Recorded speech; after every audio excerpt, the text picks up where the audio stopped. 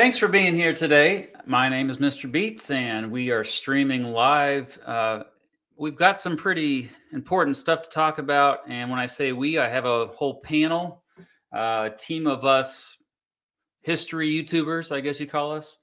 Um, but we are going to look at um, some context, attempt to add some context to the the Russian invasion of Ukraine. And this is a, it's something that I think a lot of people have asked us to talk about. Um, but something that we need to first remember is that um, historians generally are just kind of sitting back and watching. We we look we look at the past, and um, I mean I, I don't even consider myself a historian, but you know, folks who are into history, we don't really even comment much on current events. Um, Although I think this is maybe a bad thing because I think uh, probably the, the folks who study history do need to chime in more on, on current events um, because it does seem that people lose context pretty easily. So that's why we're doing this today. Um, I think there's a lot of a, a, lot of misinformation online. I think that's uh, no doubt, and we've seen a lot of propaganda out of Russia in particular, um, the president of Russia, Vladimir Putin, uh, is notorious for his misinformation campaigns that he's, uh, he's something he knows a lot about going back to his going back to his KGB days. So it's uh, we are fighting misinformation. Um, a lot of the good faith um, streamers and uh, YouTubers, TikTokers, they come in good faith. They're trying to explain the situation, but they also just lack of lot a lot of information that I think is uh, is not good for a, a, better understanding of this conflict. So that's why we're doing this. Um, it's not to exploit the uh, the uh, situation at all. In fact, this stream uh, is not monetized. All um, everything on here is going to be donated to the Save the uh, the Ukraine Children Fund, which uh, clearly we uh, we're all pretty sympathetic to um, Ukrainians what they are going through right now. Um, and there's other ways, there's other organizations you can donate to. Uh, if you check the link in the description of this video, um, I have a, a, direct link to the Ukrainian Red Red Cross that you can donate directly to. Um, but all proceeds go to those charities uh, or Ukrainian uh, the Children Fund. There's over a million children who have been displaced, um, at least already from this um, this invasion. So, without further ado, I'm going to introduce the uh, the panel. Um, just a, note that Alternate History Hub may not be able to make it now. He uh, had something come up, but we have someone else here to take his place, so that worked out pretty well. Um, so first off, I'm going to introduce. Uh, we have Emperor Tigerstar. Um, well, you're on. Uh, next up, we have uh, his channel's M Laser, uh, but his name is Matus, and he's well, yeah. There's the narrow view there. Next up, we have uh, Cipher from the channel The Cynical Historian, and we have Tariq from the channel Hikma History. Oh, you got your cat there with you, uh, Cipher too.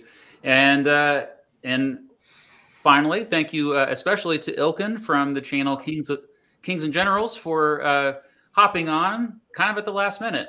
So, hey guys, thank you all for being here. And I think the um, the big question that I try to I'm asking for this whole stream, and this is what I titled this stream is why did Russia invade Ukraine? It took the world mostly by surprise, perhaps historians a little bit less by surprise, but um, so maybe uh, if you could all go, I we have a we have an outline, a document to get into that we've been uh, preparing, but I think just to kind of get us started here, like the big uh, question to answer, in your opinion, why um, I know it's a big one. Why Putin decided to invade uh, Ukraine now? So, how about Emperor Tigerstar? You go first, since you're right.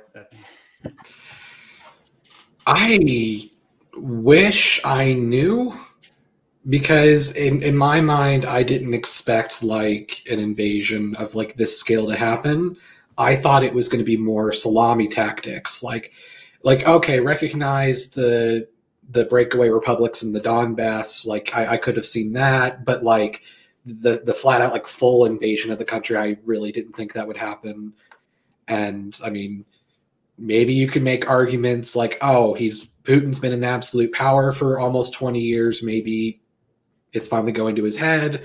Maybe it's because he's getting old. Maybe it's a mix of the two. I don't know. I, I I'm not in his like head. I can see why like he would like want control of Ukraine, but I I still have no idea like why he actually just went and jumped the gun. It, it definitely caught me by surprise. All right. Yeah. Uh, Matus, you want to? Uh, as okay, as for reason why, I I guess uh, it would go back to the fact that Russia has always seen Ukraine and Belarus as their as their land and and those people as theirs not not necessarily theirs but as like them part of them so so to them uh, they they've seen Ukraine and many of them have seen Ukraine kind of like Hungarians have seen Hungarians outside of uh, Hungary after the Trianon after World War One so uh, I, I think it was mainly that that there was this sentiment in in Russia uh, because it's not just Putin. There's a lot of people in Russia that believe this. Uh, that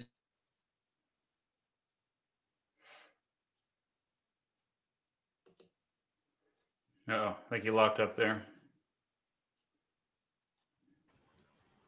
All Is right, that a well, Wi-Fi problem? Yeah, it might be on his end. So we'll just keep. We'll come back to Matus there.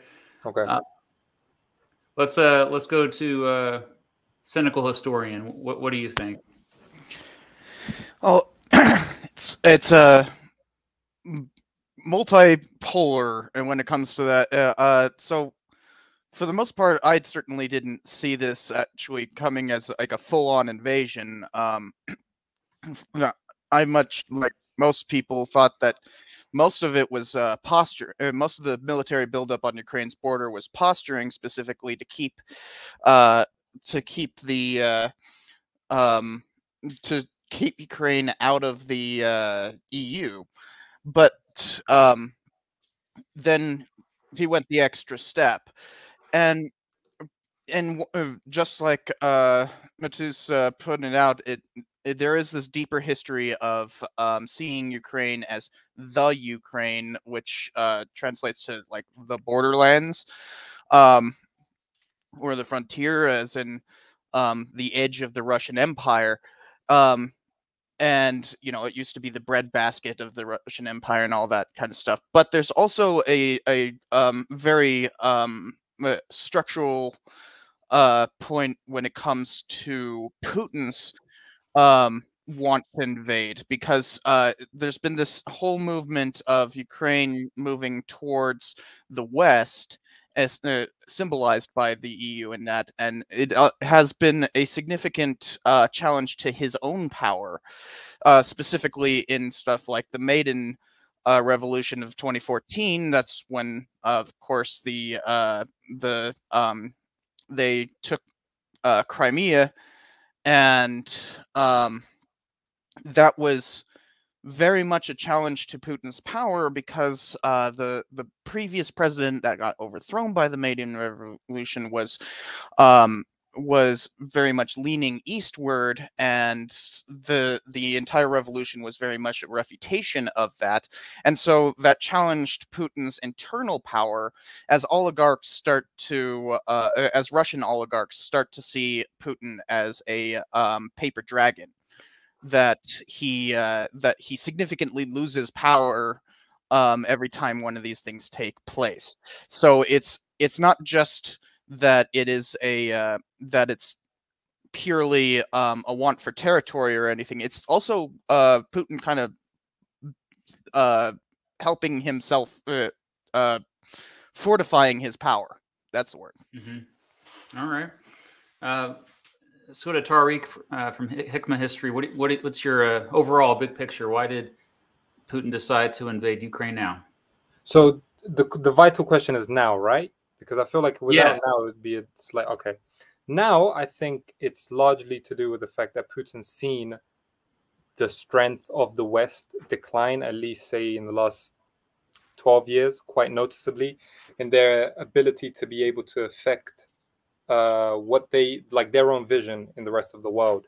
Um, and how they themselves, with some of their own internal problems, I should say me as well, I'm living in the West, uh, are going through some of their own internal social problems, like in America, for instance, last six, seven years, uh, with all of the social unrest there. And it's emboldened Putin to the, po- to the point where he probably made a calculated strategic uh, guess that I won't get so much blowback now, or the chances of me getting blowback from a Western government uh, is not going to be as high as it was, say, like in 2003 with George Bush. Um, I think that is probably, yeah, that makes the most sense to me about why it is now. I mean, why they did it in general, I think we can go a little deeper into that. But yeah, in terms of now, that's why I think. Okay. Uh, Ilkin, if uh, Uh, yeah, I uh, kind of hate analyzing uh, people like Putin because uh, there's almost never any rhyme or reason, in my opinion. Uh, the question is always is why now and not eight years ago or five years ago or uh, a year from now. Uh, what we hear from Russia is that Putin is getting exceedingly isolated, and this isolation is his own choice. Some claim that it's connected to the COVID situation. Some claim that uh, there is a shift in power structures. Uh, but regardless, uh, there are fewer people uh, who have access to him and fewer people uh, he listens to. It's almost always said that Russian ruling elite has three columns. One of them is the military, one of them is uh, the oligarchs, and the third one is often called liberals, but it's mostly uh, technocrats uh, who are almost always uh, for more cooperation with the West, with uh, integrated economic systems, etc. And apparently, this third column that was advising Putin lost most all, all, all, all of its influence on him and hence uh, he is isolated uh, and mostly gets his advice from the uh, military structures right now. And apparently, uh, some claims that he was misled into thinking that it will be a small victorious war, a quick one. Obviously, we'll get deeper into that, but uh, I feel like uh, it's this happened mostly due to the misleading intelligence. Okay, yeah. Uh, so I think uh, the most important thing I think we can do now is to uh, to go back and uh, look at the history of relations between um, Ukraine and Russia. I think most uh, streamers, TikTokers, YouTubers have kind of dropped the ball on this one in terms of they go back to 1991 you know like uh, and so i think we need to go way back much further. And so um, whoever wants to chime in first can but i think uh, let's look at the history of um, the oh and something I I forgot to say earlier um, is if you want to know about the propaganda that that putin does talk about uh, if you want like he is he literally does try he- he's been trying to rewrite history for a long time. But if you look at you look at his 21st of february speech um, recognizing the donbass republics um, his 2014 march 19 2014 speech to parliament about crimea. And then he has a paper that he wrote last year called on the historical unity of russians and ukrainians. Um, just to oversimplify it it's basically you know his whole thing is Ukraine isn't a real country.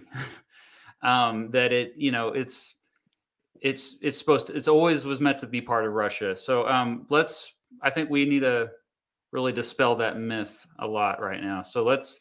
Um, what what are the origins of um, you, the Ukrainians. Let's start with that. Try not to be too long, Matus. Uh, well, first we'll have to go back to uh, the, the first kingdom that, well, kingdom polity that the uh, the the Eastern Slavs trace their national and ethnic origins to. All of them: Belarusians, Ukrainians, Russians, um, Ruthenians, uh, and that is the Kievan Rus. And the Kievan Rus was the first that we know of, at least. Uh, uh, polity in, in Eastern Europe, Eastern Slavic polity that existed, uh, but it wasn't really Eastern Slavic, quote unquote, because even though Slavs were the majority uh, of that polity, which existed from late 9th century until the 13th century. Um, it, it was a very multi-ethnic state, and most medieval kingdoms were very multi-ethnic states. Uh, and uh, and if you want to know more about like these myths on uh, how medieval kingdoms are usually used by modern historians to find their ethnic and national origins on, uh, read the book uh, Myth of Nations. It's a very good book that talks about this medieval kind of ethnogenesis of modern nations and people. But Kievan Rus is that medieval ethnogenesis for for Eastern Slavic states today. Uh, even though, uh, as I, uh, even though talking about that state in a way uh, where you're just saying it's Slavic would be wrong because there were Khazars in it, there were Jewish merchants in it, there were Volga Bulgars, there were Varangians, which were these basically Vikings, but in the east, uh, which formed the ruling class of the Kievan Rus. Uh, there were um, many nomadic other peoples, Turkic peoples. Uh, so it was a very much a multi-ethnic kingdom. And talking about it in any other context than than it being a product of its time would be wrong. However, all modern Eastern Slavic nations, just as well as any other nations like France with Franks, uh, all modern Eastern Slavic nations, Belarus, Ukraine, and Russia, trace their national origins to this and talk about it as their own state and as something that's theirs. Um, so that's kind of where uh, the Eastern Slavs quote unquote came from that state uh, which then in the 13th century got conquered by the mongols. Uh, however, when the Mongols came in, they conquered most of the eastern parts of the Kievan Rus, and the western parts, which are mostly today Belarus and Ukraine, came under the control of the Lithuanians, which later came under controls of Poland, creating the Polish-Lithuanian Commonwealth. So the people, these uh, this multi-ethnic people, which were majorities Slavs, but there were also others, came under the control of this different kingdom uh, whereas uh, the, the, people that were become later Russians were still under control of uh, the Mongols, the Golden let's, Horde. Yeah, let's speak to the difference, how they like how that created these cultural differences that even last to this day. We don't speak on that? Uh, yes. So the cultural differences. Uh, well, the main one, especially in the Middle Ages, was religion. Uh, religion was a huge identifier for people, oftentimes bigger than ethnic identifiers. For uh, in the Middle Ages, often what was more important to people was whether you identified as a Christian and what kind of Christian, rather than if you were a Frank or a, uh, a Slav or whatever. Uh, so when it came to religious thing uh, differences, when Vladimir uh, of, of, Kiev converted Kievan Rus into Orthodox Christianity in the 10th century, uh, uh, basically, um, what is it called? A metropolitan was set up in Kiev, which was which oversaw basically all the parishes of of of Kievan Rus. And then when the Mongols came in, there became this split because the metropolitan of Kiev uh, was taken to Moscow, while a new metropolitan for the uh, for the Slavs that stayed in Polish-Lithuanian Commonwealth uh, went to uh, Halich, and there became the split of this Orthodox they were still Orthodox Christian, but there was there was a split between who who controlled the parishes in both on the both sides of the conflict, and this started basically this was part of what started this kind of uh, differentiation between these Eastern Slavs to become uh, Russians and Ukrainians and Belarusians, and even for a, for a bit there were also Ruthenians, which were like all the way at the western fringes of today's Ukraine, and they were called Red Russians. Um, but they later assimilated into Ukrainians and Poles. Uh, and uh, basically that's when the divisions came. The divisions also came in uh, in linguistics, so meaning that Polish and Lithuanian words start to be appropriated into the uh, Slavic, which was spoken in around today's Ukraine, which started to make the differences in in language between uh, the Russians, the people around Moscow, uh, and the people in, around Ukraine, and there were various these various differences, which basically meant that once Muscovy became Russia, quote unquote, uh, and conquered away the lands which are today Ukraine from the Polish-Lithuanian Commonwealth, suddenly there were these two peoples that were Slav, but they definitely saw themselves as separate, and that's basically uh, where the where the problems start because the Russians were like, "No, you're us," while these people that lived for almost 400 years under different uh, circumstances definitely did not see themselves as as us. And when we say different circumstances, they had more freedoms, right? Uh, oh, that is that is also very very questionable. So, uh, freedoms depending depending depending. So uh, most of the nobles were Lithuanian and Poles. There, not many of the nobles are Ukrainians. Ukrainians or the people who became to be Ukrainians over all these differences that I talked about over the course of the centuries. Um, uh, didn't really have much of a nobility. What they did have were Cossacks. Cossacks were a group of peoples in the 15th century that basically started to settle the lands of southern Ukraine, which were largely inhabited up until then by nomadic Turkic peoples or Mongolian peoples. And so it was a very nomadic area, very unsettled. They started settling this land and they were given a bunch of autonomy by the Polish Lithuanian nobility because they wanted to, this land to be settled. So they were like, go there, you'll get a bunch of autonomy, tax breaks, whatever. However, mm. these people what they started to do with their autonomy in southern Ukraine. People in western Ukraine were still under Polish control, Lithuanian control all the time, uh, and were mostly peasants. But these people, these Cossacks, what they started to do was basically uh, they they got this autonomy, and they're like, oh great. Uh, let's do something with it. And they started uh, basically attacking the Crimean Tatars, the Ottoman controlled uh, trading cities on the Black Sea, and then went north and started attacking the Polish Lithuanian Commonwealth back to, back to them. Even the Polish Lithuanian Commonwealth saw them as part of their country these autonomous areas of the country were attacking them back uh, multiple times, and there were multiple treaties between these Cossack settlements and the and the Polish-Lithuanian uh, states to try to like quell these people, pay them off, whatever. But it never really worked. Uh, and and basically, this Cossack identity then became later appropriated into the Ukrainian identity when in the 18th and 19th century. However, talking about the Cossacks as the Ukrainians would be. Misleading. Yeah. Uh, uh, because they were very multi-ethnic. Like they were majority Slavic, majority Slavic of the local Slavs, so what later be- what became known as Ukrainians. Uh, but uh, it was more of a style of living because they would take anyone. The, the people they raided, the Turkic nomadic people they raided, the Ottoman trading cities they raided, sometimes they'll take people with them and they will join them. Sometimes other people will come from other places that will join them. So it was very much so a multi ethnic kind of uh, setup uh, of these uh, kind of like land pirates, honestly, in a way. Uh, that that also farmed as well, um, and they had leaders called the hetmanate, uh, that they elected.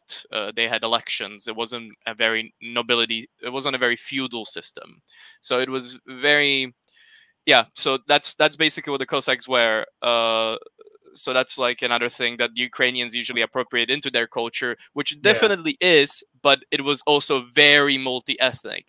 Oftentimes, when we talk about it in history, all these things, think of the fact that oftentimes in history, multi-ethnic thing was a thing. There wasn't really nation states or like a single ethnicity that everyone should be under that existed oftentimes. Yeah. So can I ask a question real quick?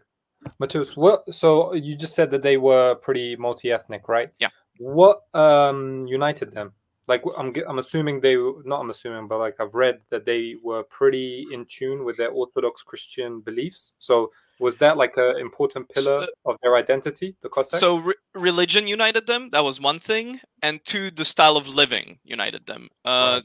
There was a uh, I had a great co- quote uh, I can't find it right now. Uh, uh, I I'll find it later. Anyways, there was a great quote that basically said something like the Cossacks w- were united by a state of being or something like that, state of living. Right. Uh, like that was that was something that united them, so, uh, as well as uh, religion. But there were there were people that were part of the Cossack settlements that had different religions, even even though mostly they were Orthodox. Uh, uh, but it was what what majority uh, united them was this kind of autonomy, Right. basically. Right, right, right.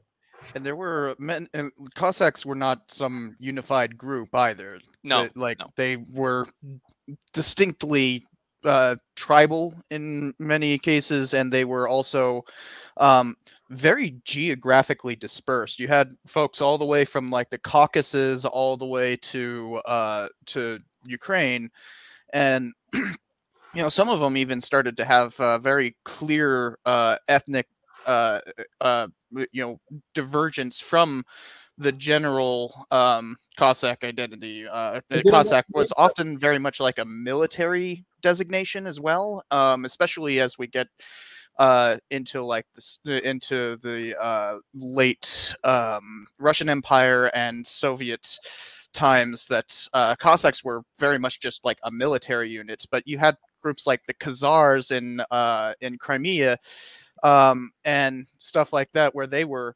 very distinctly separate from Cossacks after a certain period of time, to the point that Stalin literally deported all of them to uh, Siberia.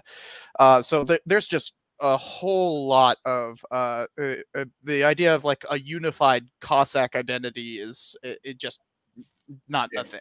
Definitely. Uh, I, I found the quote. It was by the historian Zamoyski, and he says Cossacks were not a people or a nation, but a way of life. That was his quote. Uh, And uh, if I could add, um, and this may be partially where like the Cossacks are incorporated into like the like how modern nations view their history, but like as the because it was previously mentioned, the Cossack Hetmanate kind of broke away from Poland with their autonomy. Um, Russia and Poland eventually like partitioned that area before Poland was partitioned later. Yes. And part of what would happen is when Russia would conquer these areas for administrative purposes, the areas of the former Cossack Hetmanate were given their own, like, uh, what would be called governate in the Russian Empire. It was kind of like a a bit more complicated than a province, but you basically had uh, um, not okrugs. What's the other one? Voivodeship? Like No. vassalage? No, that, that well, there, there's like the there's the administration that's basically like the equivalent of provinces, but then there were groups of those provinces that were called governates. Okay.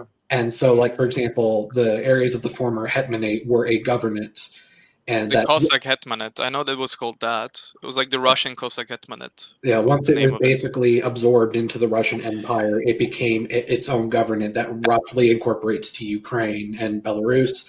And there was another, there were other governates of other Cossack groups for like the what was called uh, Kuban, which is kind of like near Rostov in the northern Caucasus Mountains, and things of that nature. And later on, as like the Russian Empire broke up at the end of World War One, because of that collective uh, connection with the Cossacks, there were efforts of like some of those groups in the Caucasian mountains to try to unify with Ukraine, trying to latch on to that Cossack identity.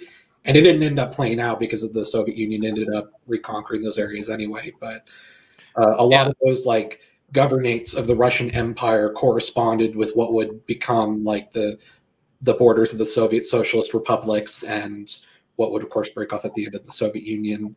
And when you're living under like a special district for like centuries in the Russian Empire, that kind of adds further to the identity of the area because they're treated differently. And so, Yeah, Uh, to to to go back to how uh, the Cossack basically became part of the Hetmanate, the, the Russian Hetmanate, Cossack Hetmanate, uh, which was kind of a vassal state in a way, uh, uh, because this is very important when it comes to Ukrainian identity, because it was uh, the, the basically that kind of the official revolution that started the Cossack revolution uh, that ended in the fact that they became part of uh, they became controlled by Russia was a guy named uh, Khmelnytsky, and he is very much so seen in Ukraine as like their their kind of founder because he was the guy who led the Cossack rebellion that uh, kind of went overboard and and lots of historians talk about how he didn't even expect it to be that big. He was just kind of uh,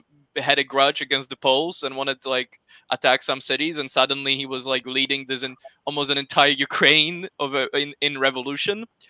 Um, and uh, if jack rackham's watching by the way this is the man you should make another video about because his life is very interesting.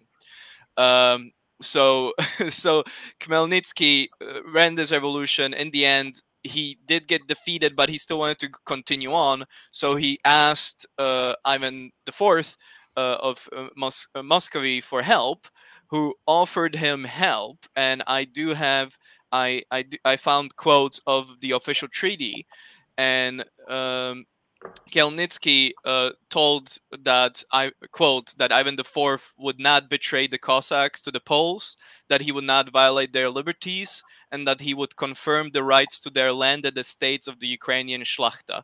Uh, Shlachta being like the feudal lords, because up until then, all the feudal lords were Polish and Lithuanian. So Khmelnytsky wanted these like Cossack Ukrainian uh, Shlachta to be uh, in rule of that area that he rebelled with.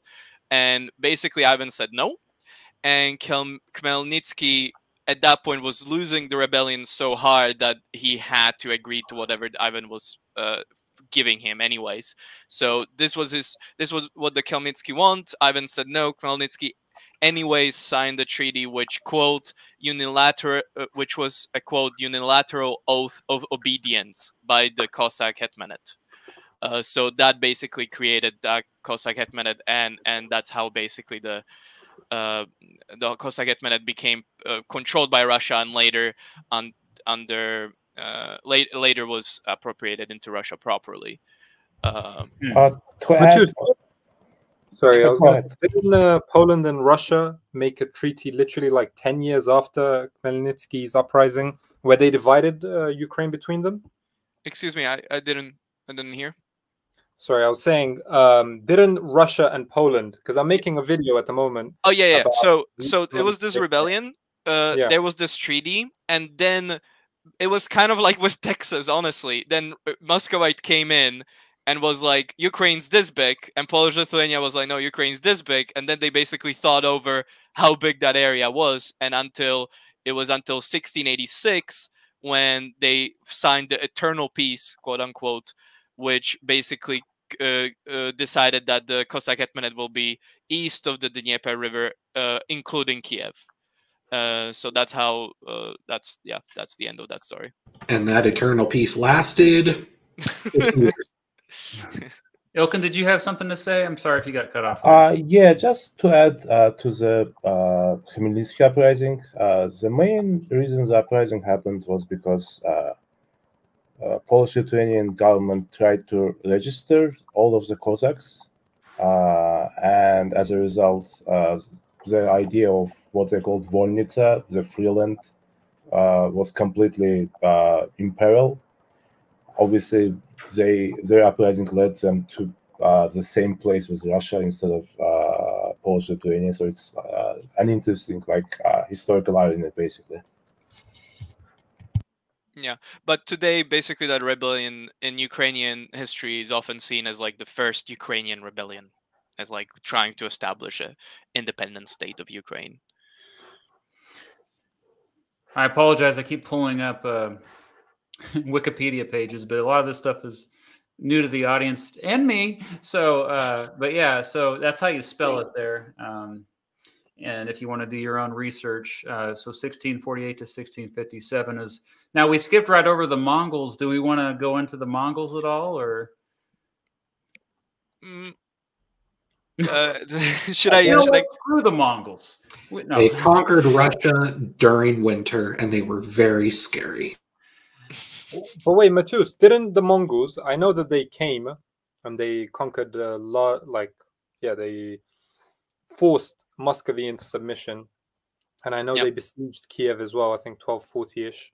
Um, but didn't they just kind of give them the power back? Obviously, as uh, subordinates to the Mongol Khan in Karakorum. But Yep. didn't they just like let them stay where they were? Obviously, they had to pay a tribute and everything, but it survived it, didn't it? Yeah, yeah. So that's one of the arguments that Muscovite Russia later came with, uh, being like, we are the continuation of the Kievan Rus, because the Kievan Right. Rus, when the Mongols came in, was fractured into these different principalities. Uh, and when the Mongols came, they did conquer them, but they did give them like autonomy as long as they would pay them tribute and Mhm. stuff. Uh, so Muscovite Russia later, when they freed themselves from uh, the Golden Horde, which were the Mongol, which was the Mongol state that succeeded, like when Mongolia uh, kind of Mhm. fractured. Uh, uh, they basically talked about how no, we are still Kievan Rus. Uh, that whole thing with the Mongols didn't matter. Uh, we are, directly continuation of the Rurikid dynasty all the way to Vladimir and uh, Right. and basically that's that's kind of the argument there that the Muscovite Russians uh, were trying to persuade everyone that they have the the direct connection to the Kievan Rus, even though you can make the same argument with other principalities of the of the Yeah. Kievan Rus. It shows the ridiculousness of modern nationalism that Russia's trying to incorporate, or Ru- Russia's Russia's trying to incorporate or appropriate a piece of history that was from Kiev, right? Like it's trying to say that we are the originals. Like they can make a better argument probably, Kievans and Ukrainians. and that, uh, another thing would be that uh, going back all the way to the early Slavs, because that's what I specialize in in my research. Uh, talking about the early Slavs as a united thing is just completely wrong. Because e- even the first accounts we have of the early Slavs, there are like no accounts that would talk about the Slavs that that they would have some kind of kinship or ethnic identity in a way that they would fight together. They were just as likely to fight with the Romans against other Slavs, or with Slavs against the Romans, or with Goths against Slavs, or against each other. There was there wasn't a big unity there. So, So- when So where does the word come from? Slav. Is it an endonym or an exonym? Did other Uh, people call them that, or did they call themselves that? so that's the debate currently. So uh, if you if you believe Curta, uh, who who's a historian at the University of Florida, uh, you can read his book, The Making of the Slavs, and the book he published last year, uh, Slavs in the Making. And he basically talks of how uh, the ethnonym Slavs was created by Byzantines and by outsiders to call these random people, and then the Slavs just appropriated it. Uh, that is a very disputed argument uh, that is very disputed at the moment and there's a lot of other slavic historians that would dis- dispute that and say that slav the word slav uh, comes from the word slovo which means like word or slava which means like glory. That is also disputed whether it comes from one or the other. Uh, and but yeah so that is a very much disputed at the moment whether it was uh, it was a thing that the slavs would use to describe people who spoke their language but not necessarily the same ethnic group. Uh, or it Ah. was it was byzantines that just called these people slavs because they were like they're all the same anyways Yeah, because They, they, they have like linguistic connections, but they also kind of like migrated into Europe at like different waves. So there were like what we would call like the Southern Slavs, which are like the former Yugoslavia groups. Like those kind of came uh, like around the late uh, sixth century. They, they pushed into there, and then the Avars came along, which were a different group. But then more Slavs came along, and then the Khazars came along, and then there were more Slavs. There were constantly groups moving in and out. And Where, heavily, where did they come from? Where where is like the origin of Slavs? The thing to point out here is that the endonym for uh, Slavs at the time was Rus. oh And- uh, for, for the eastern slavs and let's talk about how that became a major part of uh you know this uh, and we're very much trying to center this not on s- minutia about different revolts throughout the time but specifically how how uh ukrainians and russians are using this history.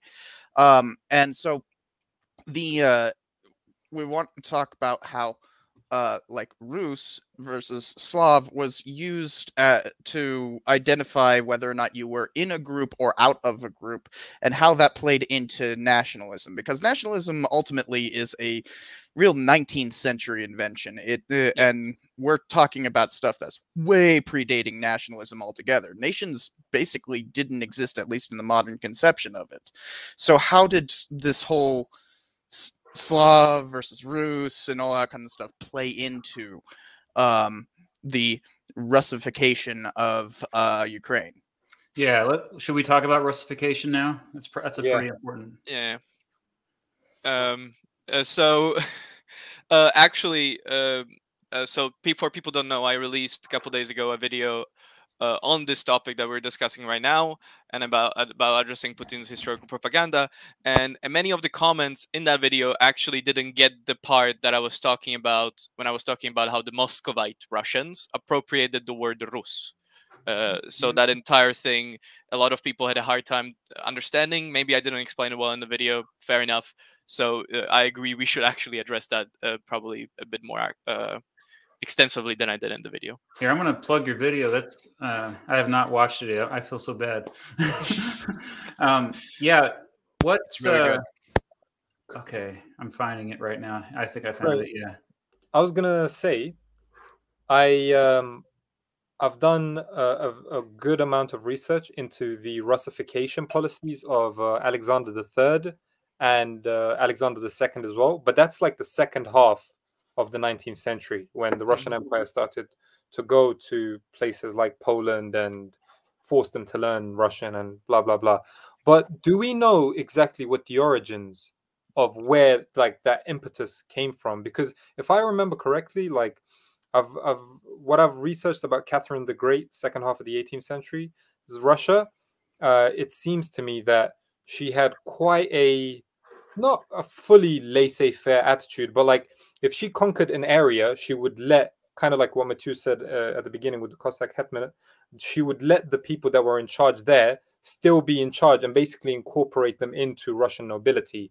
But that is like a far cry from fast forward 100 years to intense Russification of stop speaking Polish, start speaking Russian. Do, do any of us know like when that shift kind of happened? Uh, wasn't it the 19th century? Yeah, that, that was the nationalism spreading across Europe in the 19th century. Okay. which is Yeah. rather interesting because Russia was actually uh, a key force in suppressing a great deal of nationalist revolts in 1848. Uh, Um, you know, they were Yeah. they were, uh, and uh, people like Catherine the Great uh, and um, and Peter the Great before him had actually tried to Europeanize Russia Yeah. uh, significantly. Um, and this policy extended to their borderlands, as in uh, Ukraine.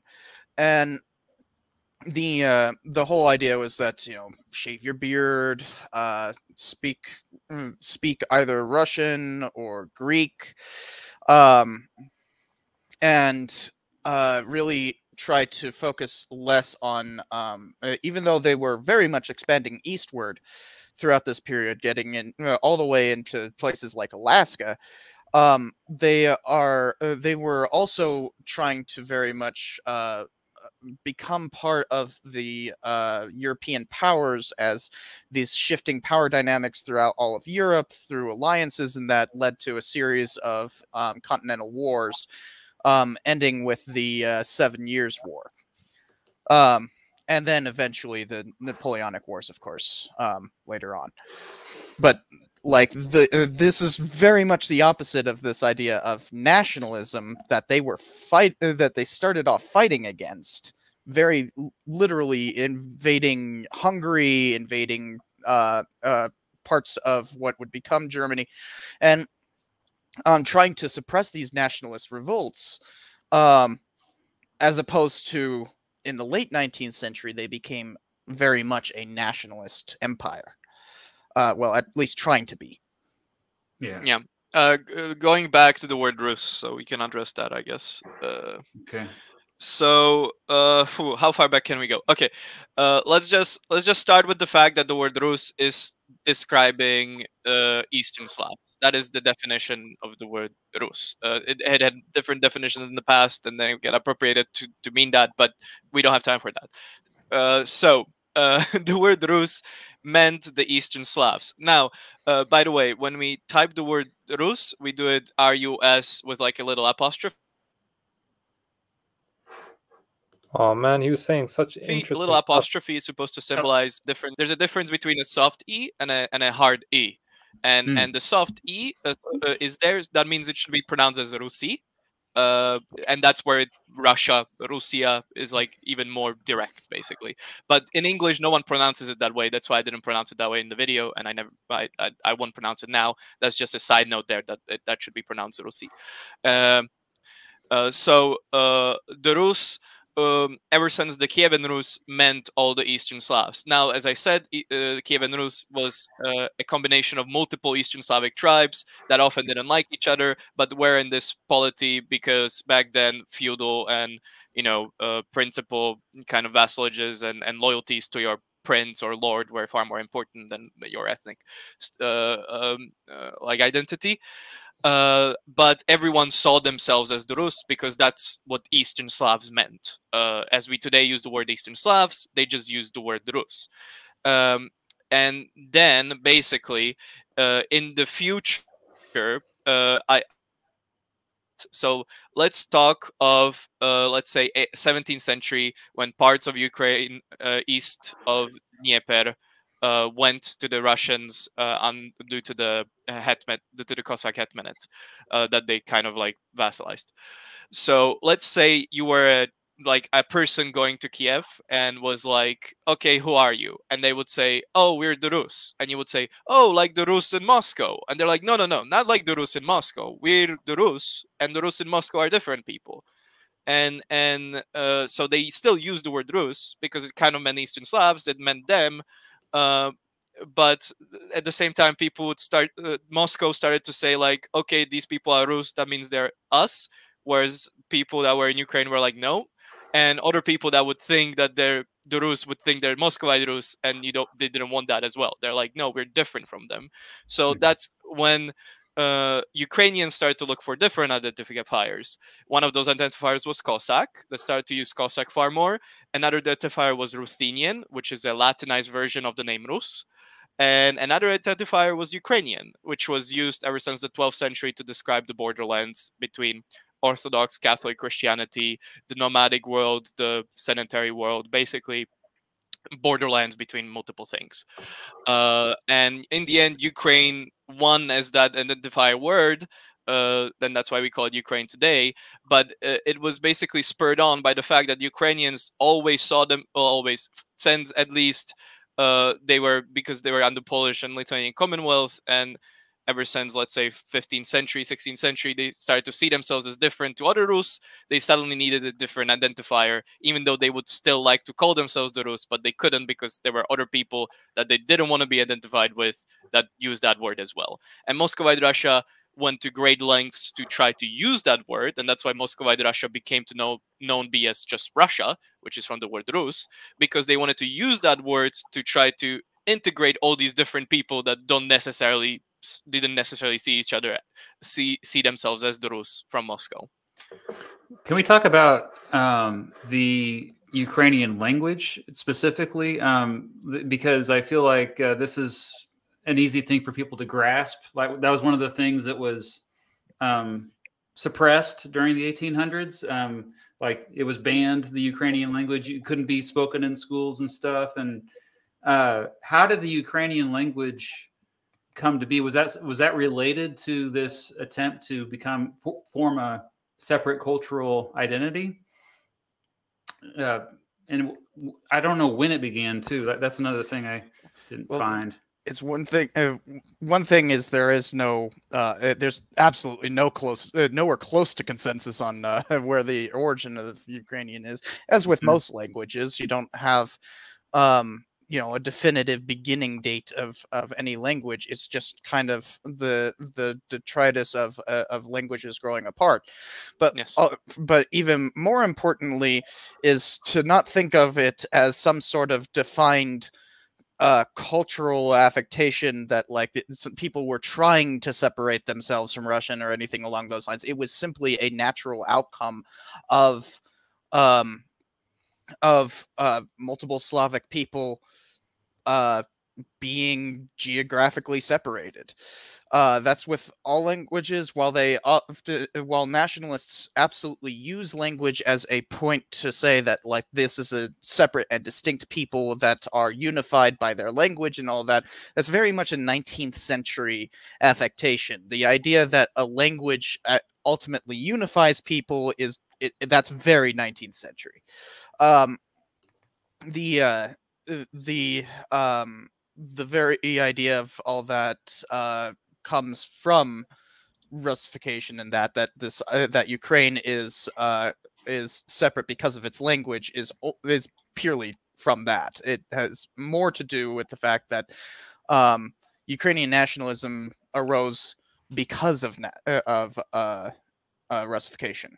I guess I'm amazed because I know the Ukrainian language is quite a bit different than Russian, and but also today um, you look at many people in Ukraine do speak Russian, and so I just found that I guess interesting that because usually you think of language as a pretty distinct uh, marker for you know ethnic groups. Well, they didn't define uh, define Ukrainian as the official language of the country until 2001. So Right. it so even um even until that point uh Ukrainian as, uh, uh, in the beginning of their republic um from 2001 to I mean from 1991 to 2001 even then it was still uh contested as to whether or not uh that would be the thing because it's something like uh three quarters of all uh all- Ukrainians actually speak Russian in Yeah. daily usage. So uh, it's it's kind of like um, it's like here in the Southwest, you'll find that uh, a huge amount of people speak Spanish um, as a second language, and you have like signage and you know English and Spanish, and um, sometimes you're actually kind of like expected to know a little bit of Spanish just because uh, you know some signs are like literally just the uh, the the hours of on a, in business are sometimes only in Spanish, so you need to know that. Um, and like that's that's kind of how uh, Russian seems to work um, in Ukraine today. Uh, uh, not Spanish, Russian. It seems to work in Ukraine today um, as kind of like a default secondary language. Yeah, and and basically how these things evolved, uh, uh, as Cipher sets with the nationalism and stuff, is that uh, when the nation state started to be a thing in like the 19th century, there became this standardization of languages, and and before then you had like a language continuum. So you know people from one town next to the town will understand each other, but suddenly if you go from like one corner of uh, Ukraine to like northern Russia, i- even though they still speak Eastern Slavic, it's going to be completely different. It coincided with the development of the railroad for sure. Um, Yeah, yeah. So so like these things where you would like understand town to town, and then further you go apart, it's going to be much harder and harder to understand. That's called the language continuum. And when the standardization of languages became a thing in 19th century with the nation states, uh, people started to standardize language for their specific nation state. Um, uh, that's when like these harder borders start to be drawn between where a certain kind of standardized language is taught and a different kind of standardized language is taught. So suddenly you don't have that gradient of a continuum, but you have those like harder borders. This can be perfectly seen actually in France, where when the French Revolution started, only around 12 million people could speak French, only like people around Paris and like northern France, whereas like southern French people spoke a Latin, like a, Roman Romanesque language. But like it was Occitan or like it was a Basque or something. Not not Basque. That's not it. Latin. But like it was like a different different uh, like a different Latin language, different Romance language, and they couldn't understand Parisian French. And it was only after France started to like standardize their French and started to teach it all across France that suddenly this like hard divide of language became a thing.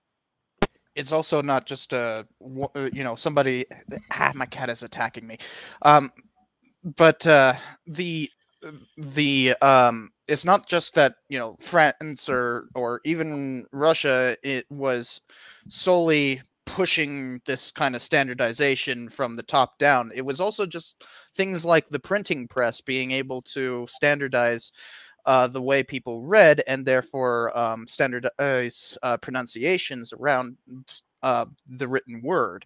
Um, once you have uh, rising levels of literacy, you see that uh, you'll see that uh, um, uh, linguistic change becomes slower. Um, it's a lot easier to understand somebody in English from 1920 as opposed to now, as opposed to somebody who was in 1920 trying to understand somebody from 1820. Um, the the difference in in linguistic change has has slowed because of techno uh, of technology. Right. And like a lot of those standardizations, especially for languages like Russian, continued into the 20th centuries because, like, Lenin, for example, even had a reform of the Russian language where he just flat out got rid of like four or five letters of the Cyrillic alphabet. You know, that- that was like the 20s. So, like, even as late as that, they were still standardizing. And Ukrainian still has one of them, if I remember correctly. Yes, I think so. I can't remember which one now. So I think we should go ahead and look at um, the independence movement of the early 1900s, um, and you know the Russian Civil War, and um, which many people don't realize uh, was also um, the inde- like the Ukrainian War of Independence. And so, um, can anyone speak to that significance? I already talked Well, a lot. having- Anyone wants to take that? Uh, well, I've actually done some some actual historical work on on the Russian Civil War, though very much from a very different side, uh, from the interventionist side. Uh, but the uh, but um, one of the things that uh, that Russia was trying to do in the middle of the uh, Civil War was just kind of stop from falling apart. Right, the uh, the um, entirety of Russia. Uh, so, for instance, in um, early 1918, um, interventionist forces actually held more of Russia than the Bolsheviks did. Um, and you know, the, uh, not early 19 mid 1918, I should say. It's like August and September. Um, by that point, the the Bolsheviks seemed to be just completely collapsing. Um, and the uh, and the interventionist forces are managing to to eat them from the uh, east and the west, but um, from the uh, uh, I mean from the uh, from the east and the north, but from the west you have um, the Germans coming in and uh, having taken so much territory up until the Treaty of Brest-Litovsk, which you can see on screen here is uh, is shows the actual territory and the little kind of uh, dash mark that was signed away in the Treaty of Brest-Litovsk, which is pretty much the entirety of Ukraine. And then once uh, uh, once the uh, once the uh, German Empire falls apart in the latter part of 1918, um, uh, Ukrainian people uh, start seeing an opportunity because there's been this buildup of, of nationalism in opposition to Russification and that in the late 19th century and early, late 19th and early 20th century to the point that they start trying to create their own republics. And there's several different ones that try this. I mean there's even an an anarchist republic at one point. Uh, and, and it, it's like uh, just this uh, they're they're doing the best they can with just all this craziness coming on the heels of World War One, and so um, one of the biggest ones, the Ukrainian Socialist Republic, I think it's uh, if I remember the name correctly, um, manages to actually unify a good chunk of what is Ukraine today, um, and uh, but the but this is the point when interventionist forces in Russia are are really stepping back. White Russians are starting to really be beaten in uh, late 1919 and early uh, 1920, and so they uh, so the Russians start looking westward to try to reconquer some of that uh, some of that imperial land that they used to uh, that they used to have. That the RSFSR um, is now trying to incorporate into some unified state of socialist republics, a union of Soviet socialist republics, you could say. Uh, but the the the attempt on this was not simply you know they marched in and took it it took years of war for uh, and uh, Trotsky spent a good chunk of his time as uh, as the uh, uh, minister of defense no minister of war um, going after these things, trying to go as far west as Poland and Hungary, um, sweeping through Ukraine with overwhelming force once they were able to do so. But um, this is a very complicated history, but you can also see that Ukraine itself is very much trying to be separate, um, but not being allowed to simply because they have an empire that, well, I mean, they're not going to call themselves an empire, but they're functioning as one, um, sweeping in and controlling them through occupation and basically reformulating that socialist republic into a Soviet socialist republic um, that is more something that they can unify to create the Union of Soviet Socialist Republics or the USSR. Um, so the uh, that they were kind of created as a separate country, but it wasn't just as Putin would like to say, some uh some uh creation of Lenin by mistake or something like that. It was a hard fought separation. Um and it's really disingenuous to to pretend that that war didn't happen. And uh, I can add this because I literally just finished mapping this out a few days ago. Ba- Basically, you had what was called the Ukrainian People's Republic, which broke away as its own country, and it kind of allied itself with the white Russian forces for sake of not wanting to be Bolshevik.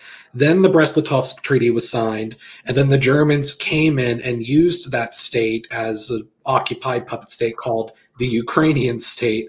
And then the, the communists formed the Ukrainian Soviet Socialist Republic in uh, Kharkiv, which is why Kharkiv was actually the Soviet capital of Ukraine up until the 30s before they moved it back to Kiev. And then the Ukrainian People's Republic came back after the Germans left, and then the Poles came in, and the Soviets and the Poles kind of squeezed them in the middle, and then they fought each other back and forth over Ukraine until 1922 when the Soviet Union finally uh, formed and they signed a treaty with Poland. And, And, that was and- all of course like five years. yeah, and there were also independent Ukrainian socialist factions which did weren't Bolshevik. Yeah. And then like the the anarchist faction that like Cypher that too, about yeah. that was in like uh that was actually in the Donbass area if I remember right. I had no Uh, idea about around- that. Yeah, around that area. Yeah.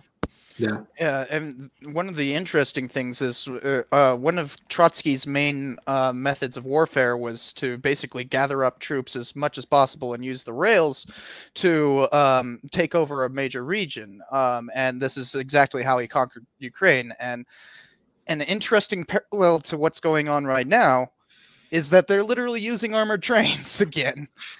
Uh, It's just it's fascinating that th- that is literally what uh, what Trotsky did. So um, yeah, we'll uh, see how that goes. But the uh, the fact is that um, it was very much an invading force that had to create this this uh, this uh, Ukrainian Soci- Soviet Socialist Republic, not to be confused with the other USSR, Right, right, but right. it was a part of the USSR UK Um, are. And officially created in uh, 1922 once they had full control of the area but uh, and unified in 1925 Um, i can't remember when the actual treaty was created but the uh, somewhere around there and um huh? 22 Yeah. okay. Um and uh the this kind of set up a stable regime for a little bit.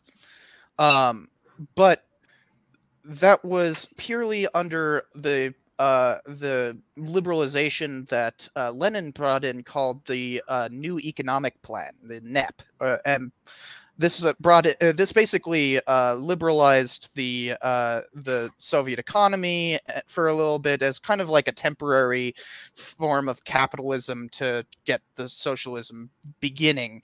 The people who came became rich were known as Nepmen, um, but some of them were, uh, especially if they were agricultural uh, landowners, became known as Cossacks, uh, uh, and um, I mean kulaks. Dang it, Kul- kulaks, uh, and the uh, because uh, even though the term kulak actually goes back centuries, the uh, uh, the the uh, idea of kulaks that we have today in terms of needing to de-kulakize Ukraine came in the late 1920s um, because of the Nep men um, and other people who had uh, become powerful because of NEP. Um, now, the interesting thing with um, with kulaks is that they were also um, typically uh, very small landowners, not not like big capitalists as they were often portrayed. But when Stalin became gen well, he was general secretary, and then there's this power struggle that happens in the late 1920s. But as he becomes powerful, especially through the Cultural Revolution of 1929, the uh, he starts instituting a dekulakization policy, which mm, yeah. uh, very much targets Ukraine. Um, Here, I'll pull that and, up. And uh, this is? It's uh yeah, you could just type in dekulakization. This is um, not Is this that something That's that's Lenin's approach towards like state building. We can talk about that later as well. Okay. Yeah, there's so there was uh, there's multiple ideas of the USSR as a, what's called a multi-ethnic empire. Um, there's a great article literally called uh, like uh, Lenin's uh, Les- Lenin's Soviet Union as a multi-ethnic empire. I think is the name of the article. Um, could pull it up if uh, we want to go through that. But the the main idea of that is that there was multiple ethnic, uh, uh, uh, ethnic identities that they tried to unify under socialism, um, but keep you know cultural stuff separate. Stalin, when he comes to power, is very different, and is he literally starts with a cultural revolution in 1929 um, very much targeted at these kinds. Uh, it's not just Ukraine that he's targeting. He's t- uh, Kazakhs and uh, and um, Tatars. yeah, uh, like all uh, basically all the many many ethnic identities throughout the USSR. Um, but dekulakization ended up really targeting uh, Ukraine to the point that um, a lot of kulaks uh, uh, who were, you know, just petty landowners, um, started kind of building up a rebellion there. And when the uh, famine struck, the, the, a famine throughout the Soviet Union in the, early 1930s, um, these cool uh, this kind of resistance to dekulakization in that um, had had really uh, angered Stalin. So guess what he does in terms of moving grain around the entire USSR? He yeah. takes it away from the breadbasket to uh, and uh, often mismanages it to, uh, and it gets to no one. Ending up killing around three million people in the process. This is called the uh, Holodomor. Maybe as much as twelve million. Well, that that would probably be referring to the entire Soviet uh, uh, famine of uh, 1933 oh. through 34, but uh, it's it's very important. Uh, this is a very important part of uh, defining a separate ethnic identity mm-hmm. within the USSR of Ukrainians, because the Holodomor very much targets Ukraine, and it's part partly built on this resistance to dekulakization in that. Um, so the uh, this entire thread from 1917 all the way until 1934 comes through this uh, from you know trying to create separate republics then being taken over then Nyep then kulaks and Kul- dekulakization and then finally the holodomor. Um, all go through this this uh, this kind of um, national crisis within Ukraine that they start that they really see themselves as separate, um, which is quite the opposite of how uh, Putin has been trying to portray this period. Yeah, and and to to talk about a bit on Korenizatsiya, it was basically kind of like Lenin's plan. Uh, so right after, well, after the Soviet Union was uh, created, Lenin had this idea that nations, uh, quote, nations were important in the current junction, but ultimately secondary.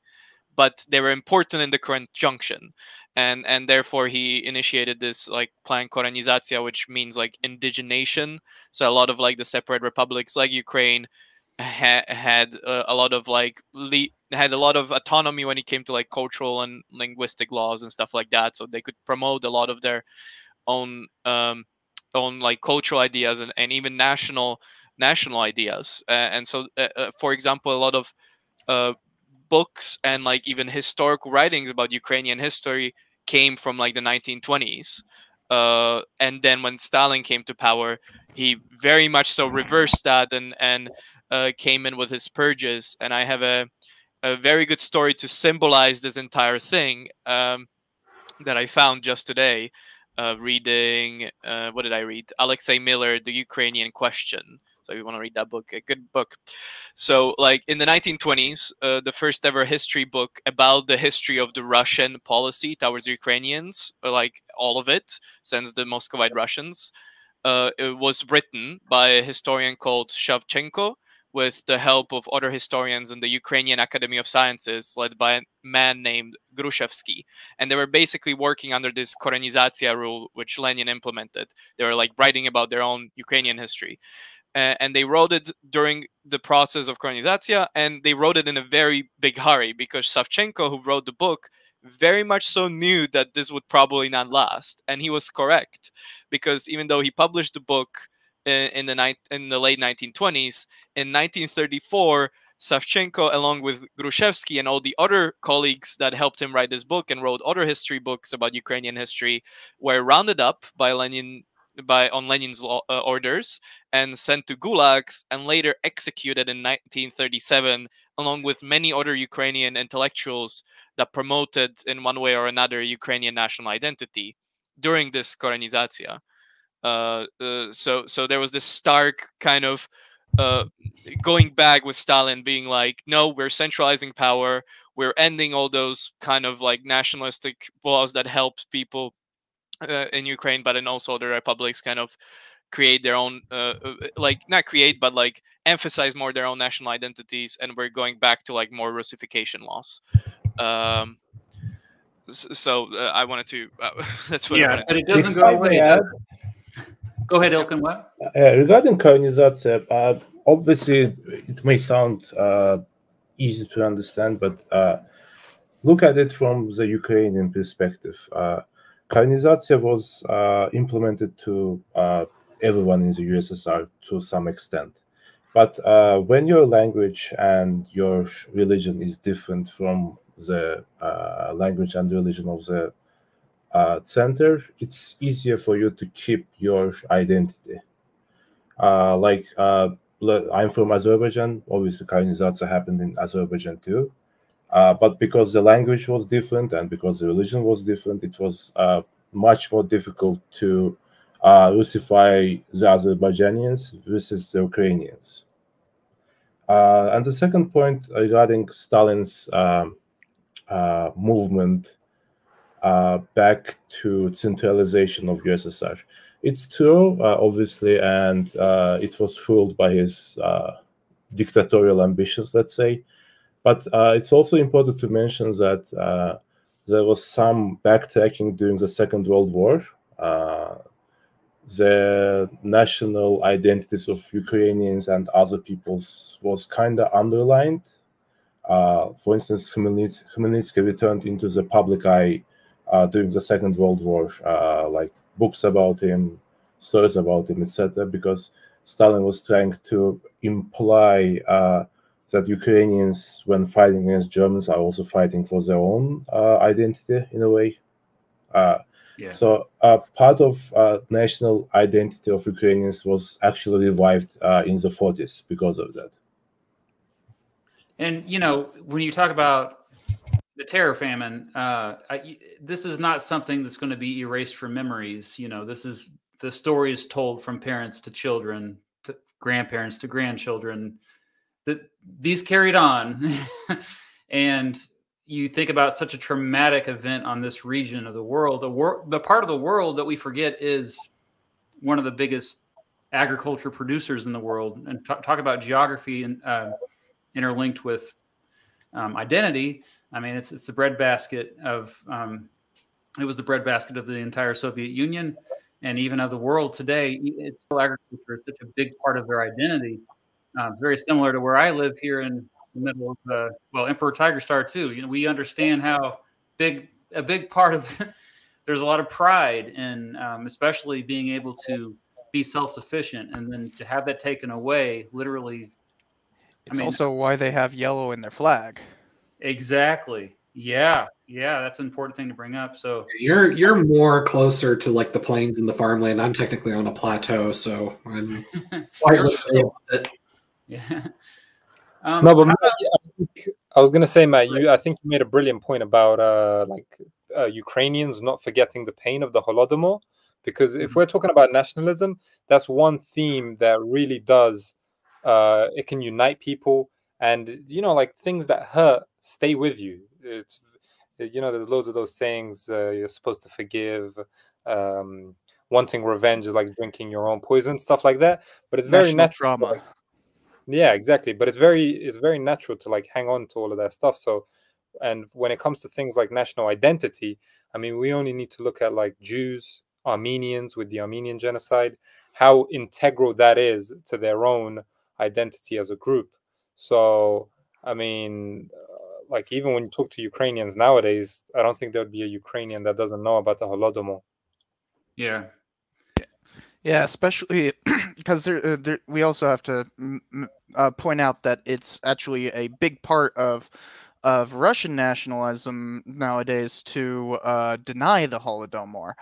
Um, And there was actually very much a cover up during the uh, the time frame, which, interestingly enough, American journalists are heavily implicated in this. In this uh, is basically trying to downplay um, the the absolute mismanagement of of Ukrainian grain, um, basically as a form uh, as an attempt to to to stop this kind of um, Ukrainian resistance in that, and instead make it about how, oh, well, this is just the natural part of a famine. You know, it's uh, the entire Soviet Union is uh, in a famine right now, and and it's like, well, no, not not Ukraine. Ukraine is also uh, part of a union, not supposed to be a, a uh, a sep a it's supposed to be a separate state in 1934 but um you know the USSR never really functioned as separate states and more as a centralized uh, bureaucracy. But the uh, the um, that because uh, Holodomor kind of just translates to uh, to um, fire famine or sometimes terror famine. Um, because I don't think that's true. Uh, Golod means hunger and more means famine, uh, death uh, from the illness, actually. So uh, famine and illness. It was Latin based. No, it's Russian. Golod and more. Uh, so uh, uh, hunger and illness. Okay. But yeah. the uh, the the um it was very much targeted at Ukraine, and um, Ukrainians today very much remember that, but Russians will try to downplay it. I'm pretty sure I saw some people in the comments trying to downplay it because it's very much a tanky thing that they like to uh, play uh, uh, to pretend that you know Russia could do no wrong, and um, this is a very clear instance of that, and Ukrainians never forgot it. And shout out to Cynical Historian who has uh, great video, probably multiple videos uh, on the topic if you want to research more. And some of those comments underneath his video, just what you're talking about there, Cypher. uh, do we want to jump ahead to, I mean, anything else about World War II era? Um, what was going uh, on with Ukraine? Well, we, we haven't gone really, to World yeah, War II yet. we were oh, talking 1930s. Well, but... kind of hinted a little bit, but yeah, yeah, I, yeah. I want to move things along here. So let's uh, let's jump up ahead to. I, I guess bit. one thing to mention is that during this entire time, uh, Lviv and like what is today Western Ukraine were part of Poland uh, at the time. Uh, so this there entire were, time there wasn't even through. So like there, there was the West Ukrainian oh. People's Republic, which rebelled with the Ukrainian People's Republic, and they tried to unite, but it never happened. And then uh, Poland basically conquered them, and that entire area was controlled by Poland until uh, the end of the Second World War. Well, Yep. not during the Second World War because Nazis came in, but yeah, you, you get the point. Like the West, before World War One. Before World War One, it was part of Russia, correct? No, before World War One, uh, the the area that is in the interwar period, part of Poland was part of the Austro-Hungarian Empire. Uh, and it's No, important to like point out that a good chunk of what is Ukraine became part uh, bec- uh, became part of Ukraine because of uh, the treaty, uh, the uh, pact between uh, the the uh, oh, what's it called? The Molotov-Ribbentrop co- uh, compact of uh, that basically divided Poland. Um, Oh, and and uh, essentially the uh, the Russians incorporated a chunk of that into um, Ukraine, their uh, their uh, Ukrainian Soviet Socialist Republic. Right. Um, so the uh, that that whole eastern chunk of Ukraine was part of Poland until that Western. oh sorry western uh, it's hard to keep all this stuff up. Yeah, no worries, no worries, happens. Um, it's on the other side of the world you you always have to mirror it uh, but, but the uh the um uh that was part of that and a, a very often forgotten part of that whole molotov-ribbentrop compact was that the russians invaded poland as well um and took over a good chunk of poland and that's how ukraine got that western part.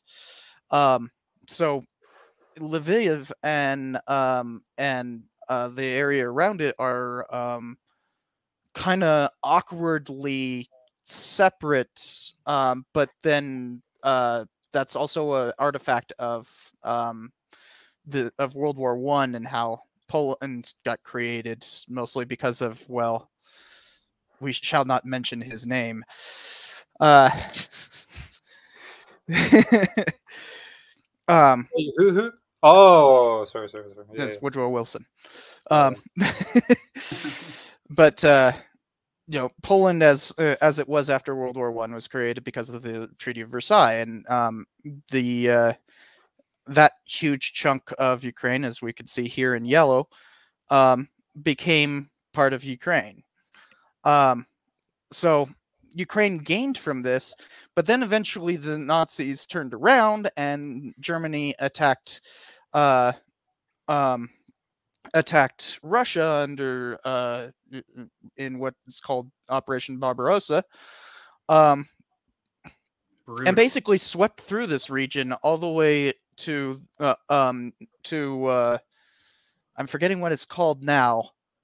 It's not called Stalingrad now, but it was called Stalin Petersburg? Volgograd is what it's called now. Volgograd. Yeah. Um, Oh, yes, and they swept through here and so this becomes a really traumatizing um, part of ukrainian history as well because they and some of them end up becoming partisan uh, pro-german partisans. Some of them end up uh, you know fighting against germany as partisans but then uh, kind of fighting against soviets as partisans. And the russians on the other hand remember this as the great patriotic war. Um, it becomes this kind of like thing about solidarity and and patriotism that um, and yet you in Ukraine it's very different. You have so many different sides to it, um, and this is actually pretty key to understanding Putin's rhetoric about denazification. Because up until this point, it was very common for, uh, I mean, uh, up until this point and well after it, um, even to today, uh, which is kind of the part of the problem, is that they portrayed that anything in the West was Nazi or fascist or anything along those lines. That it literally just um, a lot of Russian propaganda had to do with just portraying any kind of capitalism as um, as fascist. Now there was a period known uh, uh, the Unified Front. I am mi- mixing up names now. Uh, the Unified Front. I forgot what it's called, where they actually tried to deal with more liberal capitalist countries such as the U.S. um, and create a unified front against fascism. But that was a very short period of time between uh, 1938 and um, 41.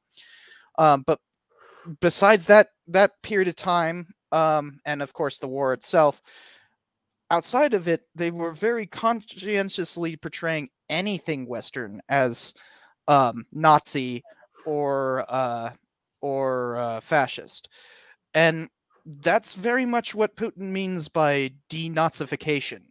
A lot of Western media likes to, point out actual neo Nazis within um, Ukrainian militias and that, but there's actually a heck of a lot more neo Nazis in Russia than there are in Ukraine. Um, and the fact is he's not talking about that. He's he's bringing up that old rhetoric around the great patriotic war where you had ukrainians who were not exactly on one side or the other and then they ended up having to sweep through there and take back ukraine. So this this is actually very key to understanding what what putin is trying to say um is that he's not really talking about like actual nazis. He's talking about just the West. Yeah, that's a that's a good point there. Um, anything else to say about the the Great Patriotic War or the uh, World War II era? I think uh, uh, M. Laser made a good point in his recent video. Uh, despite the fact that I dislike him uh, very much. Whoa! The you said something nice. the, the, video was very nice. I, I thought it was very good. Uh, even uh, we had we wanted to make some kind of video of this type, but uh, of, on this topic, and uh, now I feel like uh, everything that needs to be said was said, so uh, we don't need to say anything. Uh, the point is that not everyone within the Soviet Union liked to be in the Soviet Union. Uh, because of that, uh, there were dozens of different legions, as they were called. There was Armenian Legion, Azerbaijan Legion, Georgian Legion. Uh, there was a Russian Liberation Army under General Vlasov, uh, and there was Ukrainian Insurgent Army under uh, Bandera. So uh, this armies obviously served the interest of Germany in this war. So, and it's not a hidden knowledge that uh, almost every country in Europe have some kind of version of them. So uh, obviously, uh, we need to understand where Ukraine is coming from in this regard. We need to understand that um, I don't want to go deep into ideological um, fight here, but in order to have a state, you need to have some kind of national identity. Uh, for Ukraine, uh, this national identity started forming later than for other European nations. Like uh, I think uh, cynical historian mentioned it uh, that in 19th century many European nations went through this uh, nationalism period. Well, Ukraine never did. So uh, it's easier to understand why Bandera has more influence over the Ukrainian self identity than, uh, let's say, Vlasov over the Russian one. Because uh, Ukraine formation of the Ukrainian identity took longer and it was more difficult. So obviously, we'll come to Bandera, we'll talk about Azov and uh, other stuff.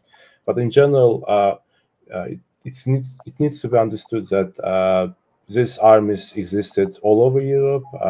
every one of them has their own internal goals. Overall, they all serve the German goals. Uh, but uh, these internal goals are very important to the national identity of the Ukrainians and others too. Yes, very good points. Um, do we want to briefly mention the uh, the partisan groups that were that that the West was supporting um, against the Soviet Union into the 1950s? All right, guys. Before you get into this, I'm gonna have to love you and leave you. It was a pleasure joining you guys. Yes. Um, I'm gonna watch the rest of this another time, but I have to go now. Yes. Good night to you. Uh, thanks for joining us, Tariq. Thank you, guys. Bye, everyone. All right. We'll see you. Yep.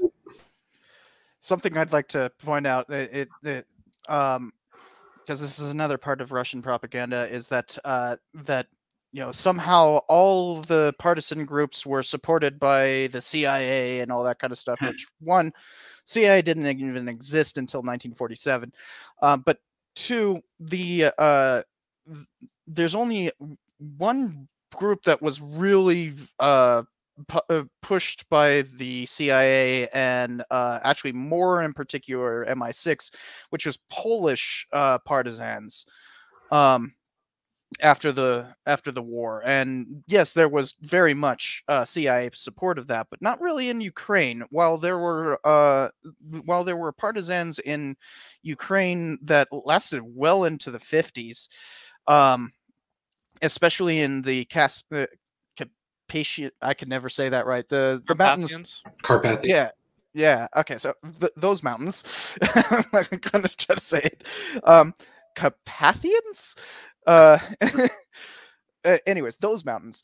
Uh, there was a lot of uh, of um, partisan groups that, uh, which are basically just guerrilla fighters um, that continue to resist uh, uh, the Soviets for a long time into the 50s. But otherwise, they were uh, they were pr- pretty much melded back into society fairly quickly. Um, after the war, though, Stalin did have uh, a couple of purges because of that. And we should also mention the purge of Crimea, which, while Crimea was not part of Ukraine at this point, that was a uh, that was given to Ukraine by uh, Khrushchev later on. But um, as kind of a continuance of that whole Russification thing, you had all those Khazars in um, in Crimea um, who Tatars. had Tatars, not Khazars. Yeah, Khazars are a very different group. oh sorry I mean Tatars, yeah. Tatars. Yeah, well, uh, uh you know, Turkic Turkic Turkish. yeah. Speaking people, yeah. Um, and they got uh, they were um mass deported after the war. Um, and from uh late 1945 to uh early 1947, most Tatars were um removed from Crimea altogether. Um, which at for a while an entire uh uh, emirate had fo- uh, had been uh, uh, focused on uh, Crimea, and that had later been melded into the into the Russian Empire, and so this was a remnant of that. And then they just completely removed it, um, sent them to Siberia and literally to gulags. Um, and uh, this is yet another national trauma that uh, Ukraine has, and that uh, that Russians tend to just uh, uh, not I shouldn't say Russians that uh, Russian leaders Yeah. um, tend to uh, completely ignore in order to postulate that you know Ukraine is not a real country and Crimea rightfully belongs to them and so on and so forth. the uh, uh, a lot of comments that I saw about Crimea on my video where people just having the stupidest arguments, but I'll explain them because I think it's kind of relevant here. And it's that they were talking about it's like okay, the Crimean Tatars aren't there anymore, but what about the um, what about the Goths that were there before them, or what about the Greeks that were there before them, or what about the Sarmatians that were there before them? And and that's I feel like that's kind of another thing that that the Russian propaganda is pushing right now. Like, oh, this has always happened in Crimea. Like, it's just another iteration of like pushing out people. Remember, Uh, everyone, two wrongs make a right, and that's how the saying goes. Yeah, yeah. It's just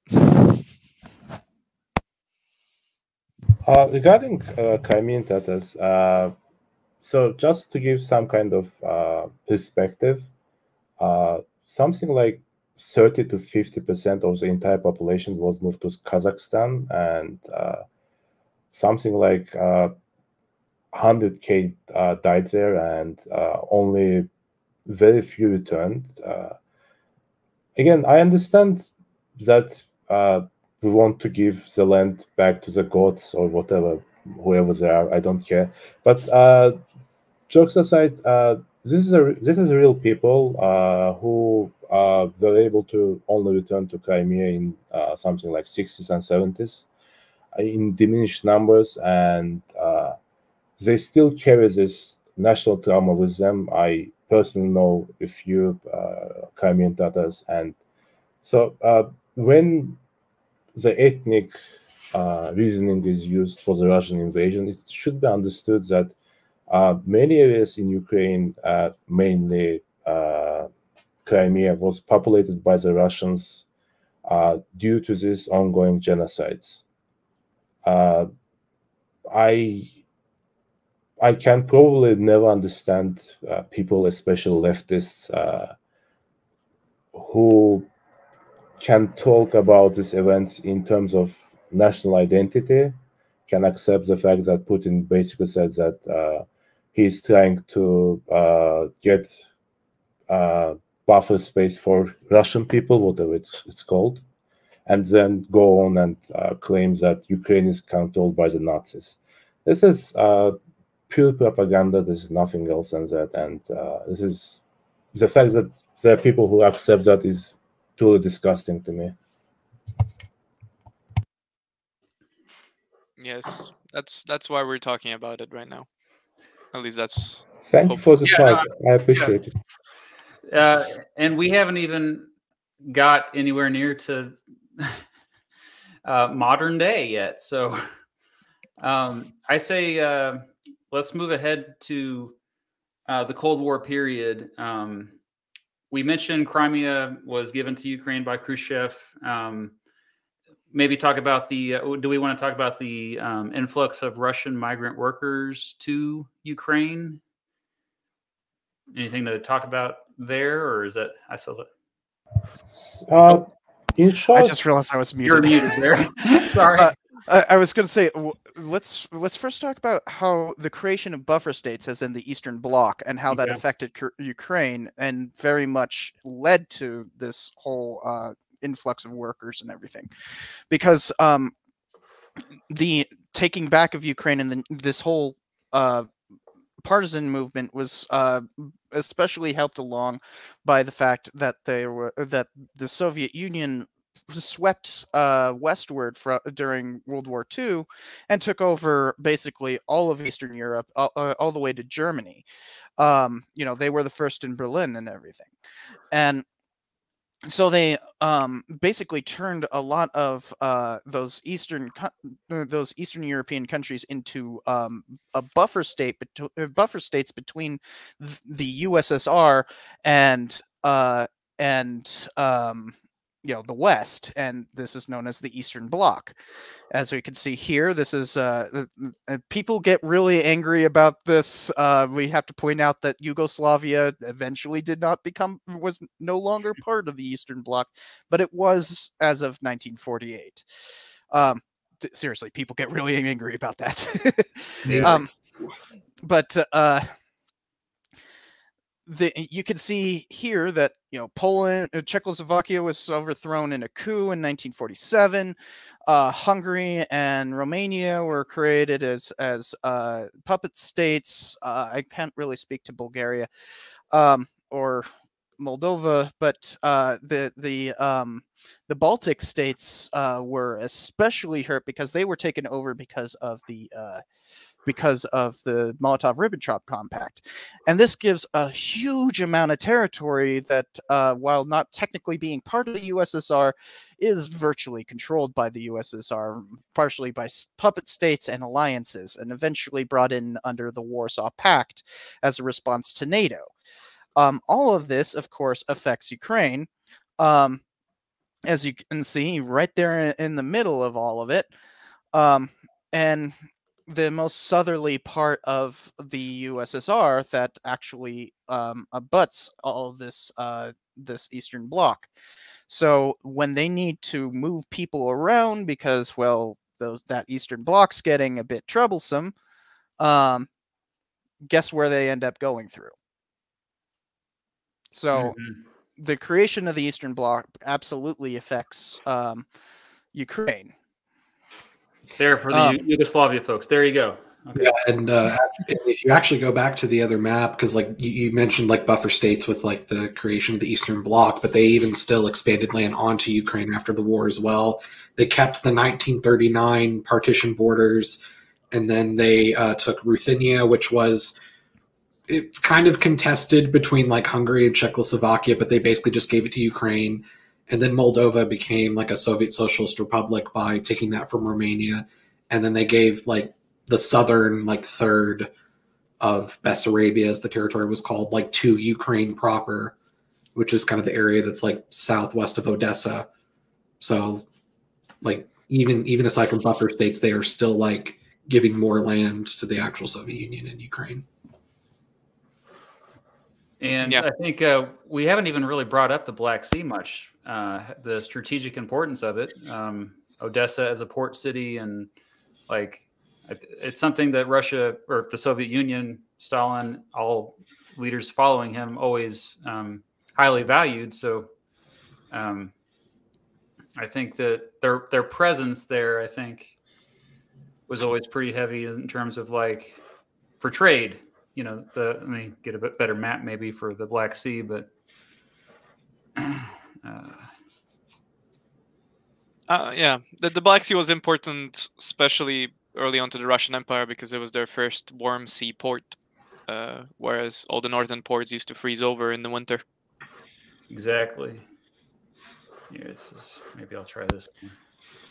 Although St. Petersburg was kind of a warm that's an old map port ish. Even that one, they had to literally build up from a swamp of nothing into a city in Yeah. the place. So and you know some of the, some of the bodies are still buried in the bay but uh, yeah like um but it was uh, uh but that's in the baltic rather than the uh, black sea and the black sea is a key uh trade port um because you have access to a whole bunch of different countries through it and it's um fairly easy to navigate through the uh dardanelles and um and the uh, uh whatever the uh, one north of there is But- Bosphorus. Thank you. Um, always rely on the map guy to know all the names. um, the uh, but like once you get through there, then you have access to the Mediterranean, and uh, so it's an incredible trade port. It's it has military advantage. Uh, back in the Crimean War, um, obviously focusing on Crimea. Um, because Sevastopol right there, like um, right where you were circling on the uh, uh, on it's not an island on the uh, peninsula. Uh, yeah, right there is Sevastopol, and um, that's a major. Uh, uh, uh, uh, they the Western powers besieged it for two years, um, trying to take it. Uh, to um, be able to really force Russia to come to the table and negotiate. So, it, like going all the way back to the 1850s, this Crimea has been an absolutely essential strategic um, part of uh, of the Russian Navy and that. So, um, and it that's still today. Um, there's been a significant buildup in Sevastopol of the Russian Navy since 2014 when they took over. So, the uh, the Black Sea absolutely is a huge um, part of uh, why they want Ukraine because that's gives them so much more access to it rather than just their tiny little port in uh, in uh, where the Volga comes at. And the choke point in the Bosporus around Istanbul is one of the many, many reasons why Russia and Turkey are always butting heads. yeah uh, this map is from 1989 by the way um, and that's kind of uh, the beginning of the end uh, for the soviet union uh, that's next up on on our our uh, list to look at here. But do we want to say anything else about the the Cold War in relation to Ukraine before we look at the fall of the Soviet Union? Mm, I, guess the only thing would be like trying to set up the fall of the Soviet Union in the context of the Cold War, being that we already talked about the migrant workers into the in, industrializing cities of Ukraine, which were often Russian speaking. Uh, and then the centuries of Russification meant that Russian as a language was quite prolific in Ukraine by the time uh, the USSR broken up. Uh, one interesting note uh, that might be interesting in uh, regards to Putin's claims that Ukraine is not a real country. Uh, when the UN was just getting set up, USSR, Stalin tried to get Ukraine and Belarus as separate states into the UN uh, in order to boost the numbers of uh, communist states. So uh, at least Stalin was seeing Ukraine as real, I guess. That's my point. Mm-hmm. Yeah, they, they also use that as a counter to like the British making Canada, Australia, and New Zealand like their own parts of the League of Nations and the United. Yeah, Australia is not real. We know that. I mean, have you seen New Zealand ever on a map? No, it's never there. I guess like I a, found it. I I guess like, a, like another thing you can add with the Cold War is that because of like the the resuming of uh, Russification after uh, World War II, you have a lot of place names in Ukraine. Like you'll you'll notice they may have multiple names, and like the Russian name was like the more commonly used name during like the Cold War. So like Kharkiv was called Kharkov, and that's where you see Kyiv versus Kiev, and and things like that. Um, not to mention Khrushchev, aside from giving them Crimea during uh, de-Stalinization, there were a lot of uh, regions, cities, and towns that were named after Stalin or members of Stalin's uh, inner circle that were renamed a dozen times back and forth before and after Stalin. So I guess that's a, another minor thing. So if you ever see something old that says like Kharkov instead of Kharkiv, that's why. Mhm. Um, it's also important on this period to remind everyone that uh, the reason why we all might remember calling Ukraine the Ukraine is because uh, you know at the time it was called the Ukraine internationally, and it wouldn't. Uh, I think it's 2011 is when they uh, officially requested to be called Ukraine rather than the Ukraine, um, and this is very much a remnant of this period where um, the USSR treated Ukraine as a as a continuance of their Russian Empire from before they were a Soviet republic, um, and that goes back to the term the borderlands. Um, that's why people would say the, but the reason why we don't say that anymore and the reason why Ukraine petitioned to uh, to get it officially changed and everything, and uh, like especially in uh, em- uh, in embassies and whatnot, um, was to uh, to stop being treated as a borderland of Russia. So um, th- that comes from this period. That uh, that even th- then, when people were talking about the Ukraine um, as a place, they would always use that article in front of it as a designator of it being owned by Russia. Hmm. Okay, yeah, I had no idea about that. um, so broader. I had a roommate that got really angry with me one time. Who, uh, oh, your your roommate from Ukraine. yeah. Yeah. Um, I I lived with a roommate from Ukraine for three years, and uh, I learned not to say the Ukraine.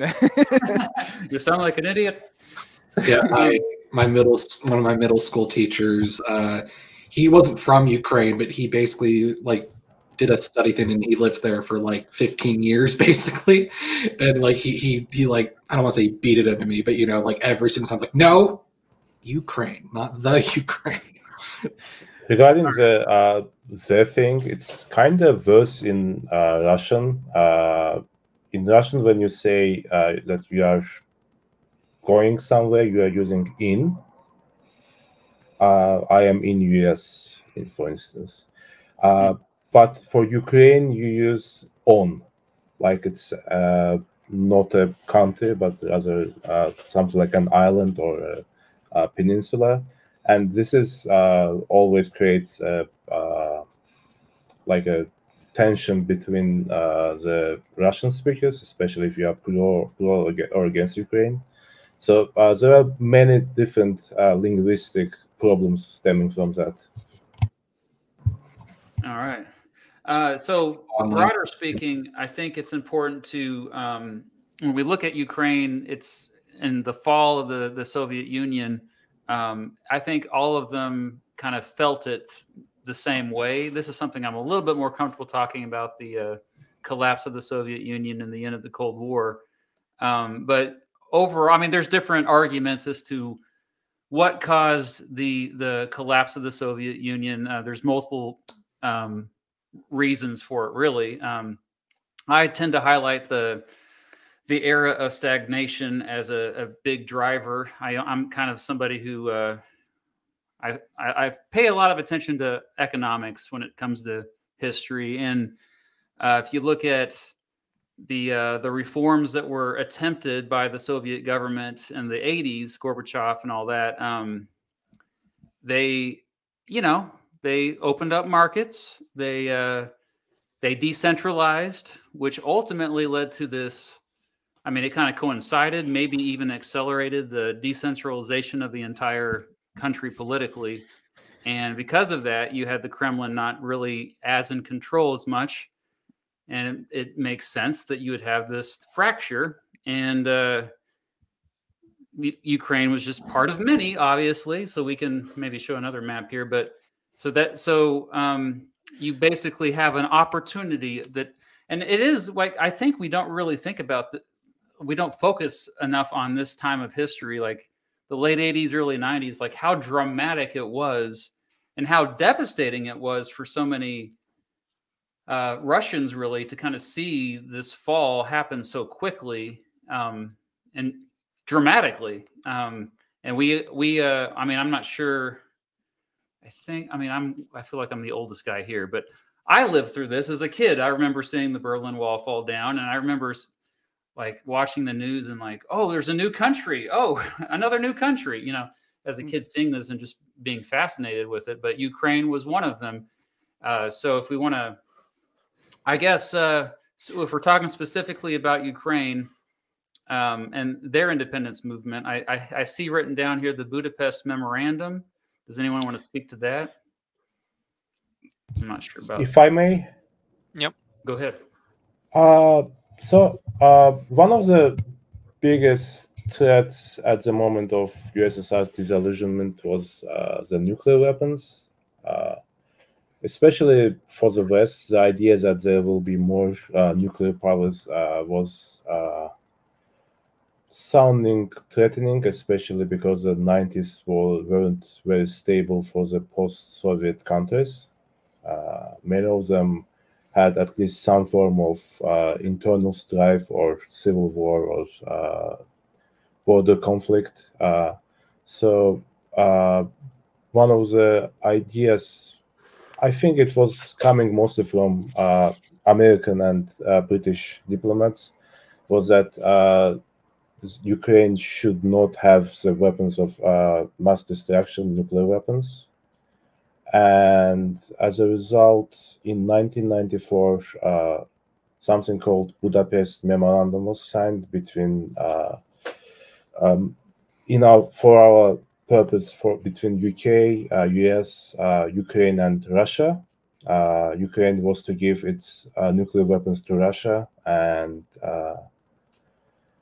all countries involved in the signing would accept uh, the current borders of Ukraine as final and not try to change it. So basically, Russia gave Ukraine uh, territorial guarantees in 1994, and as we see with the uh, Crimean annexation, it was not um, uh, fulfilled.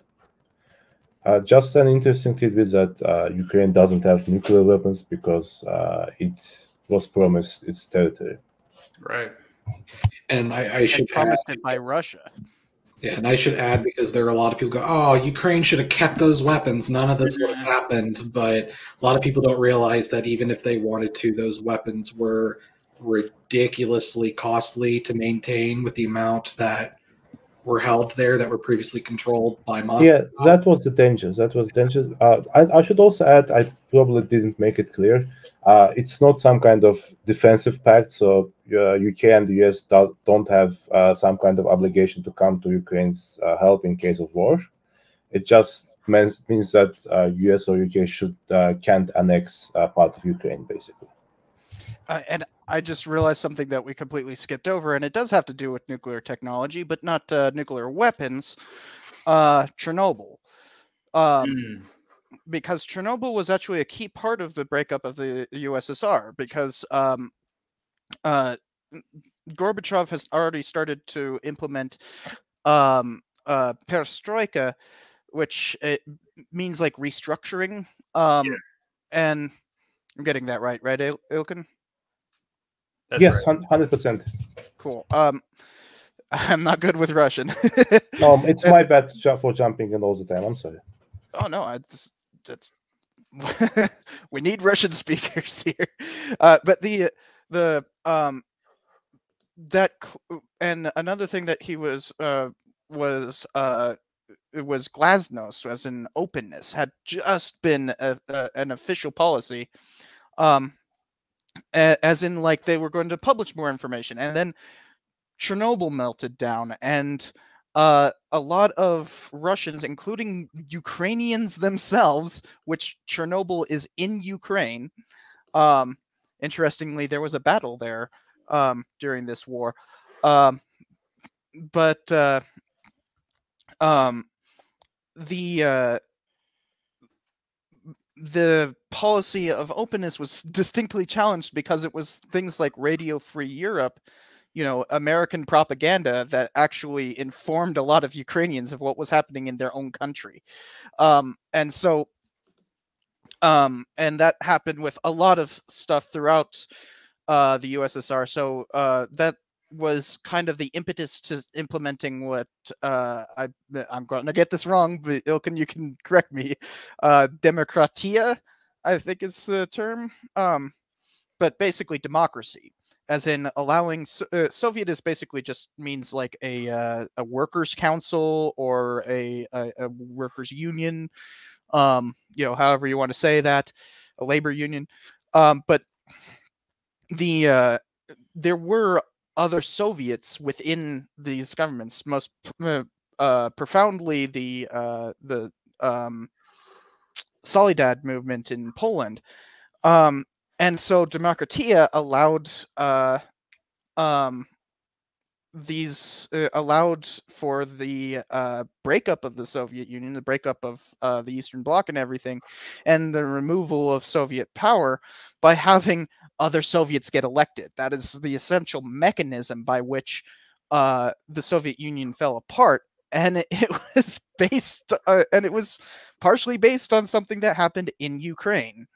Um, so it's important to remember that as well um, as uh, we're talking about nuclear events uh, uh, uh, i mean nuclear powers and that that uh, that ukraine has a kind of significant role in that not just in terms of nuclear weapons but nuclear power and how that broke apart the uh, the soviet union Right. So we have, I mean, yeah, a, a lot of people don't, I guess, realize how new Ukraine is as a country, for lack of a better word.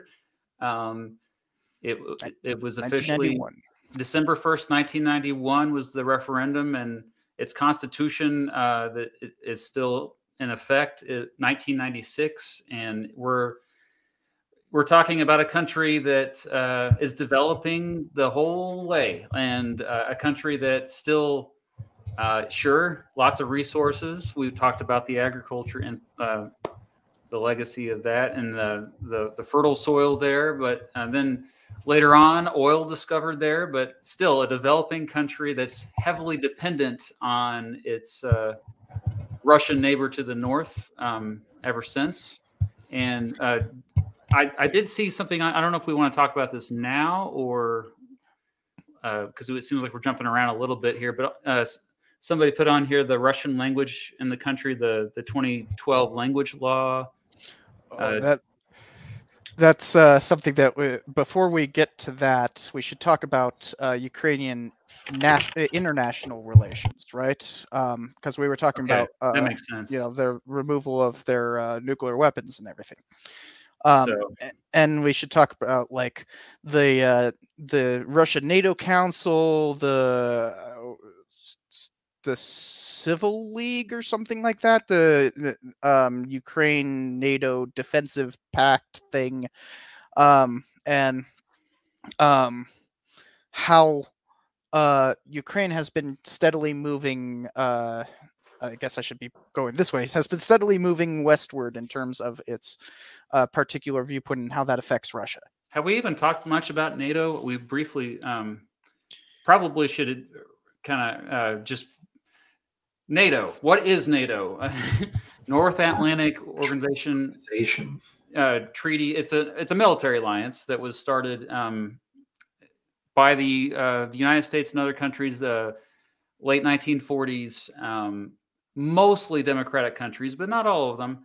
Um, and it was put into place to um, essentially uh, it was like part of the, um, the the fear of the domino theory that the communism with the capital C is going to spread all around the world. We need to unite to kind of fight this expansion of the Soviet Union.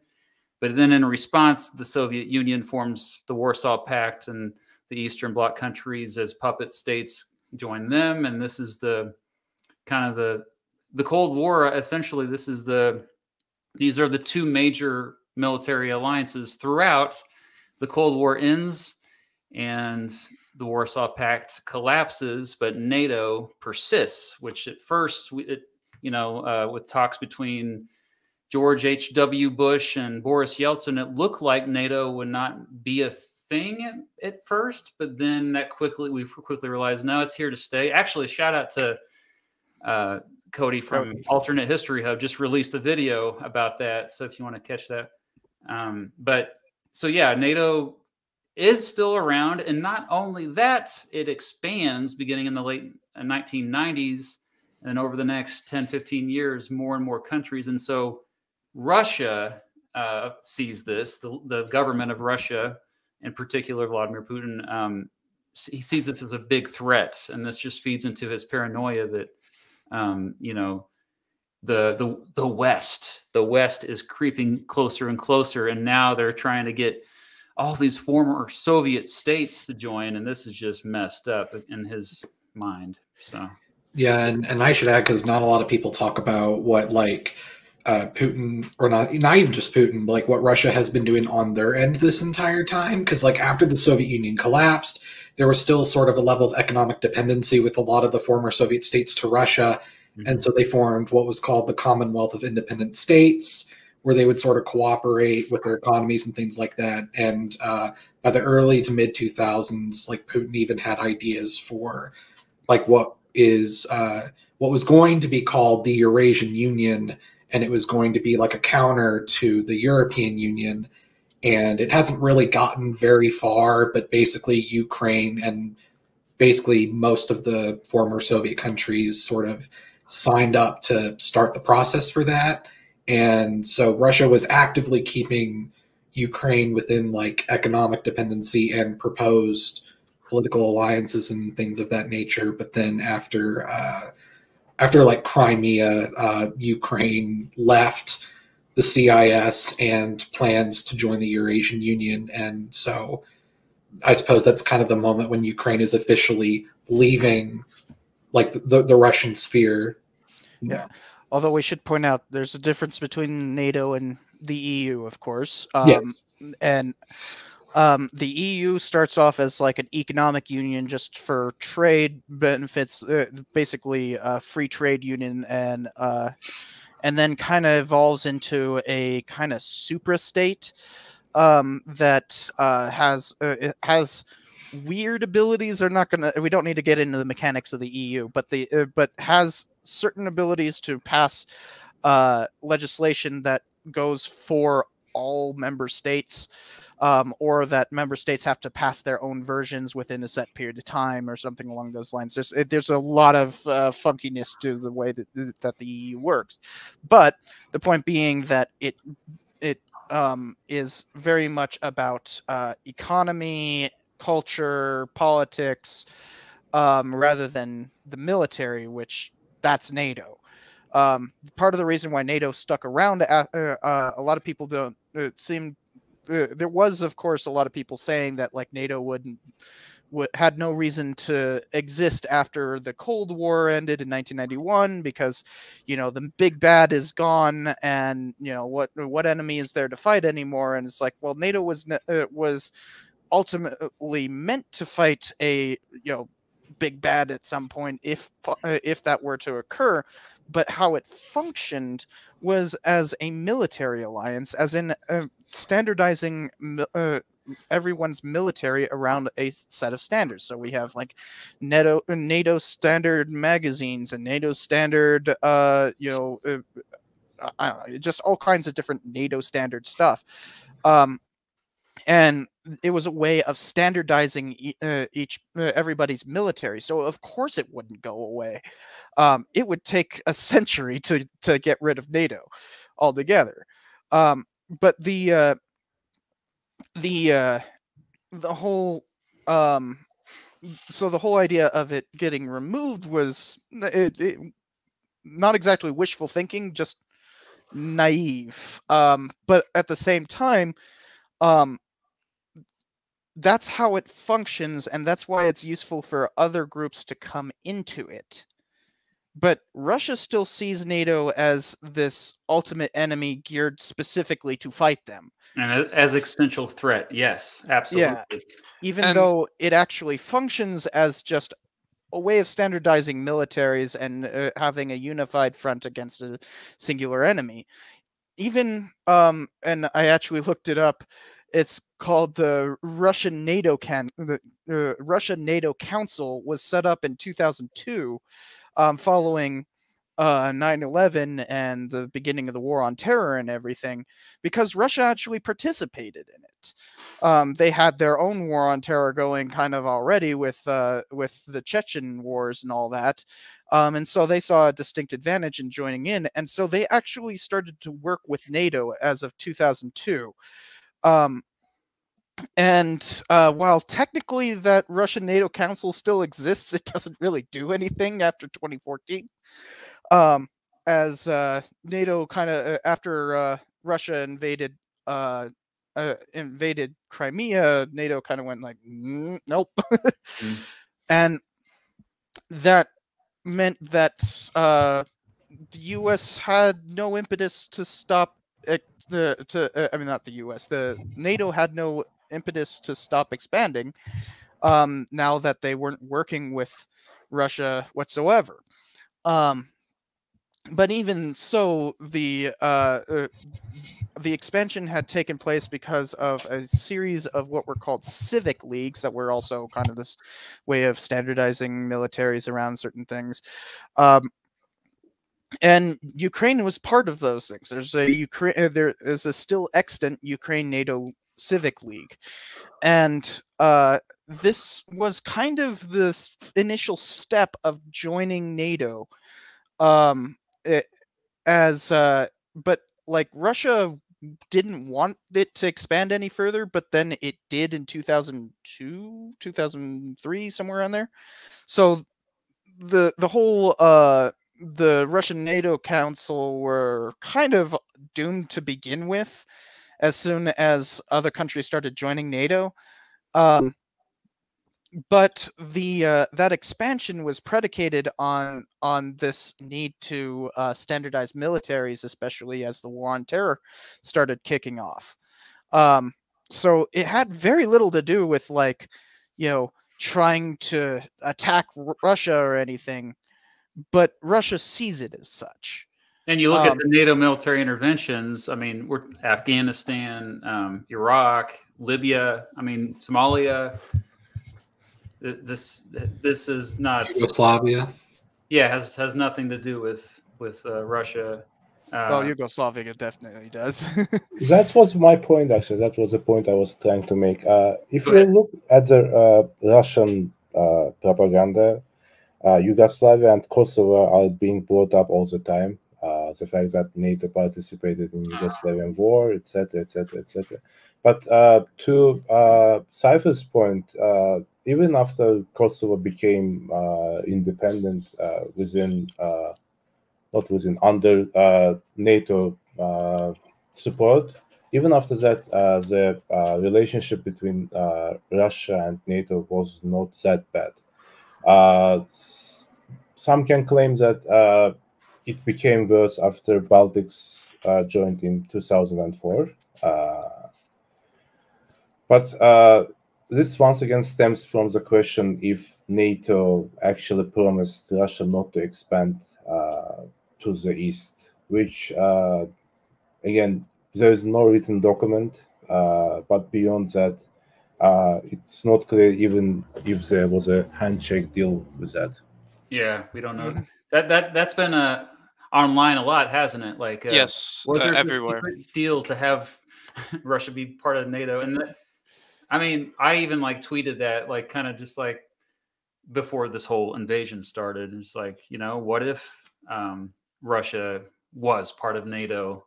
Where would we be today? You know, It's Oh, a- that's uh, one of the things that people keep on talking about with Ukraine becoming, uh, you know, uh, so I don't want to skip too much far or forward because this hits on the mm, uh, Budapest conferences of 2008 or uh, Bucharest, Bu- Budapest. I don't know, uh, but the uh, but um, part of the reason why Ukraine hasn't had any ability to come into NATO because it requires all uh, member uh, uh, states to actually uh, uh, all agree to um, somebody coming into the organization. Um, and part of the reason why nobody would agree to uh, Ukraine coming into the organization is because Russia has uh, uh, they have this disputed territory with uh, Crimea, and of course the Donbass uh, conflict was ongoing. So the uh, um, the those two things basically guarantee that they would not become NATO members, even though uh, I, I should I go ahead and move forward to the 2008 thing. yeah, Sure. I, I think that's fine. Just one note that I forgot to mention when we were talking about the partition of the USSR. Uh, the moment USSR actually uh, stopped being USSR uh, was when uh, the leaders of uh, Belarus, uh, Ukraine, and Russia decided it. So uh, it's uh, an interesting thing that uh, no other Soviet state was even asked about it. Just Ukraine, Belarus, and uh, Russia decided it. So in a way, uh, that kind of gives uh, uh, sovereignty of Ukraine a different weight in in the eyes of Russia, I guess. Hmm. Uh, it was uh, it it was considered the state that created uh, the Soviet Union, and then it was considered the state that uh, was uh, the one that uh, decided on this partition. yeah, and um, so uh, because there is that kind of special relationship with uh, Ukraine and Russia, and we'll I'm sure we'll get to the whole thing with uh, Ukrainian internal politics and how that affects Putin, but uh, the the whole thing with um, the 2008 Bucharest summit. I, I looked it up. It's Bucharest. um, but uh, the Bucharest summit uh, was a real turning point in NATO-Russian relations, specifically regarding uh, Ukraine, because um, basically they declared that like NATO isn't going to be bringing in Ukraine right now, but they reserve the right to. Hmm. And so it was basically this open declaration of NATO will uh, will eventually bring them in, um, you know, once these current conflicts are resolved. Um, the the uh, interesting thing with the, uh, with uh, NATO, uh, if NATO were to bring in um, Ukraine, is uh, from the Russian point of view, I should say, is that it would be a massive strategic victory uh, if you view NATO as like this uh, ultimate force trying to fight Russia. Um, it's not that. It hasn't been that since 1991. But um, that's still how Russians see it, especially Putin. Um, and the uh, and um, Ukraine obviously shares a border and everything, but it's also a strategic victory because there is this large plains region that um, that spreads from Germany eastward, and um, basically, if you wanted to move uh, move a bunch of tanks and and heavy um, vehicles and everything, it becomes a lot easier if you can get it through uh, Ukraine if you're trying to attack Russia. One might say it's an important step. Uh, no, because it's pronounced steppe. Oh, you gotta be that. steppy. It's a Steppy. steppy. I like step better. Okay, now we're going to do some Englishification and just say it's step.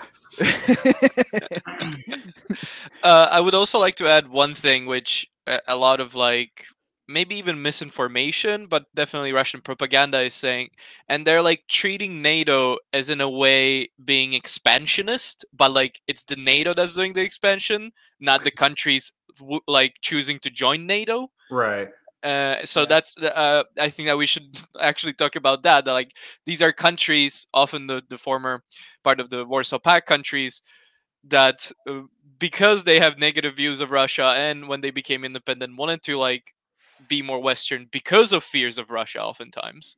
And it wasn't like you know NATO coming in and being like, okay, you're part of us now. Like th- th- these countries actually had to willingly go into this and like do stuff to be part of NATO.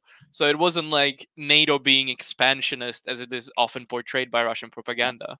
Yeah. Very good point. And It's just Another like, thing in terms of the strategy point, um, in terms of like being able to move um, troops through uh, from Germany over to uh, to Ukraine, which has a massive border with that. NATO already shares a border with Russia in uh, Estonia and Latvia, Yeah. um, and you know NATO also definitely uh, has the naval assets to be able to because there's there's this Oh, I do. little chunk of uh, what used to be Germany, uh, what used to be Prussia, and now is Russia. That little chunk, I'm forgetting what it's called. Kaliningrad. That- yeah. Kaliningrad, they- yeah. Um, that could theoretically cut off, uh, uh, cut off uh, transport by land, um, if they were to, you know, invade, uh, invade. I've got to pull up the map. Uh, invade Lithuania, and you know, take over from Belarus to to um to Kaliningrad. Yep. But there's that. There's Riga, which is a great port to land all this stuff on has all the rail assets you possibly need. So, uh, um, you can see Riga right there at the north. Yeah, So- capital city of Latvia. So the, there's uh there's really no reason to to act like the uh, uh like Ukraine coming into uh NATO would somehow be this massive strategic win. Like NATO already has a, ma- a massive strategic win with Latvia and Estonia. Um, like it's already there. Yeah. Um, so this this is very much a delusion, um, by uh, trumped up by Russian nationalism. And it- Tiger Star, did you have something?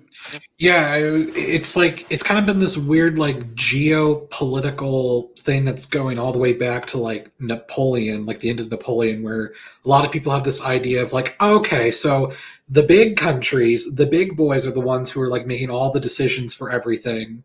at the end of Napoleon, you had like the Congress of Europe, but it's just France, Britain, Russia, Austria, and Prussia that are kind of deciding the fate of the whole continent. You had a similar thing for both the world wars.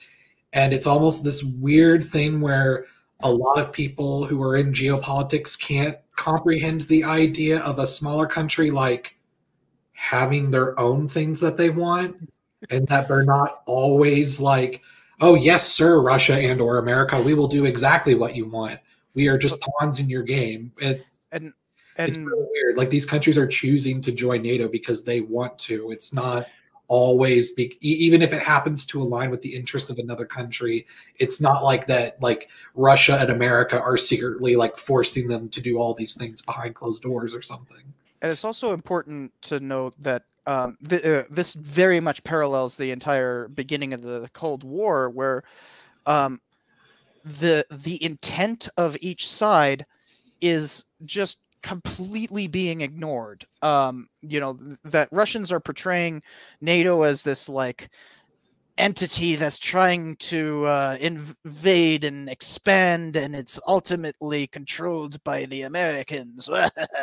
but like that's obviously not what it is it's it's very clear and you know we have the internet now come on um but like um, the same thing happened at the beginning of the Cold War, where uh, where you know there were attempts, for instance, to bring uh, Russia into the Marshall Plan, um, and Russia saw this as like a secret conspiracy to Americanize uh, Russian industry and all that kind of stuff. It's like you guys have been getting lend lease for five years. You're fine. Um, but like the uh, and it, it, it and it the other it goes the other way too. Don't don't get me wrong. Yeah. But we're not talking about the other way. we're not talking about an actual American um, attempt to to stop Russia and all that kind of stuff. It's- We're not talking about an actual containment policy, containment policy or anything. Uh, None of that exists here. I- At this point, it's unilateral aggression from Russia prete- trying to pretend that sovereign states joining a treaty organization is invasion. Yeah. Um, Maybe and, and- before we get to that, though, uh, I I, I also wanted to say sorry. Uh, I also wanted Yeah. to say it's kind of a self-fulfilling prophecy on the side of Russia because Russia is saying like, uh, "Oh look, NATO's expanding. We got to do something." Then they do something.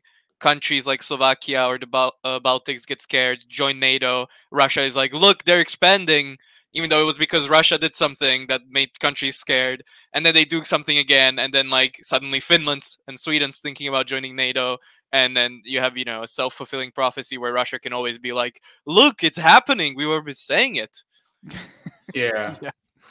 especially when you portray it as a as like a malevolent force and the malevolent force doing anything.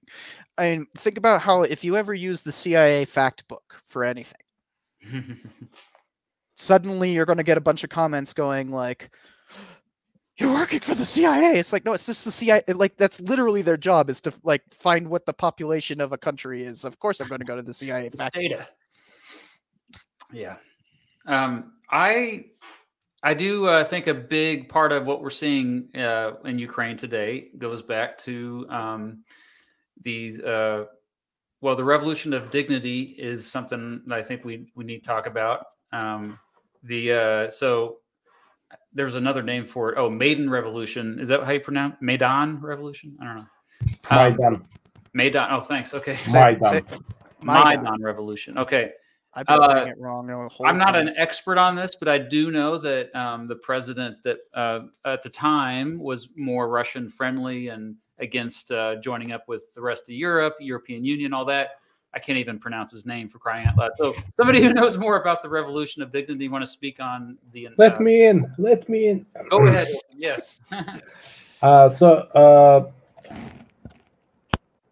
uh, when Ukraine became independent, the president became the dude called Kuchma.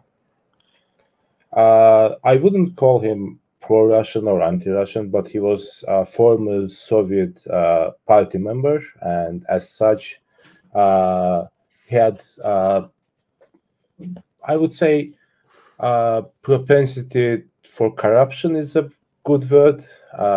And relationship with Russia was okay at that time. Uh, but uh, at some point in um 2004, uh, he tried to pass power to his prime minister Viktor Yanukovych. Uh, it's not 100% clear if Yanukovych was already a person approved by Putin or not at this point. Uh, we know that uh, his party was had the support of uh, Russian-speaking population, mostly, mostly from the eastern and southern part of Ukraine, from Crimea and from Donbass. Uh, but regardless, he was appointed prime minister, and uh, he was the candidate of the ruling party in the elections. Opposing him uh, was a person uh, called uh, uh, Viktor Yushchenko, and uh, at we didn't when uh, these events were just happening. We didn't think that uh, Yushchenko had any chance to come to power, to be honest, because uh, it seemed like uh, the elections will be uh, falsified to a degree, uh, and when they happened, they indeed were falsified. But before elections even happened, weird event happened uh, with Yushchenko. He was poisoned. Uh, I don't know if you have the photos, but if you can Google Yushchenko before and after poison and can show it on screen because it's uh, really uh, horrifying. I don't know how to spell his name. Okay, so yeah, it's Yushchenko. I just typed it in chat. So uh, basically, Yushchenko was poisoned uh, by what some claim is was a Russian uh, Secret Service agents, and on this um, wave, on this uh, like after this poisoning, he gained mass support uh, uh, from all parts of Ukrainian society. And uh, when the elections happened, the ruling party had no other choice but to uh, falsify them. As a result, uh, there was a uh, big protest against uh, Yanukovych, etc., etc., etc. European Union and Russia both uh, tried to mediate situation because it was really getting out of hand, and uh, it was agreed that there will be a third uh, elections to decide who is the winner, and uh, Yushchenko won yet again. Uh, unfortunately, despite the fact that Yushchenko came on the wave of uh, promises to democratize and uh, liberalize the country, uh, he wasn't able to deal with the uh, corruption within Ukraine. Uh, so uh, just four years later, in the next elections, uh, Yanukovych was uh, elected as president. Uh, I would like to add a small detail uh, which is connected to the uh, American po politics. the people who were advising Yanukovych's campaign in 2008 were led by certain Paul Manafort, who you guys might remember from uh, Trump presidency, Mm-hmm. because he was Trump's uh, campaign manager too.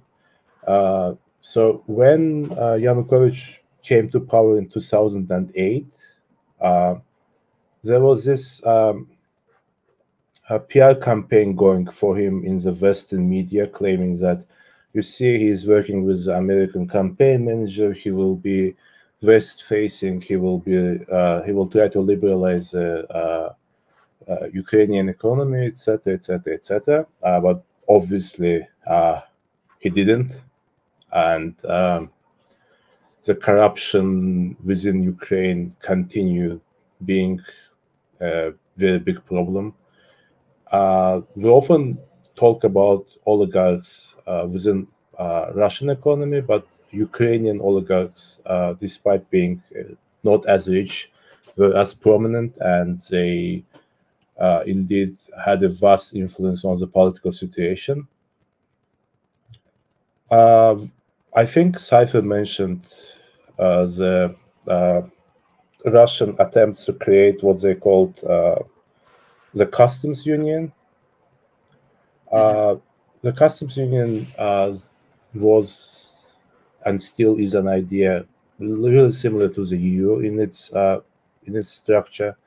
Uh, this idea to have, not have any uh, visa requirements, not have any uh, custom duties, etc., etc., etc., within uh, countries that are part of it.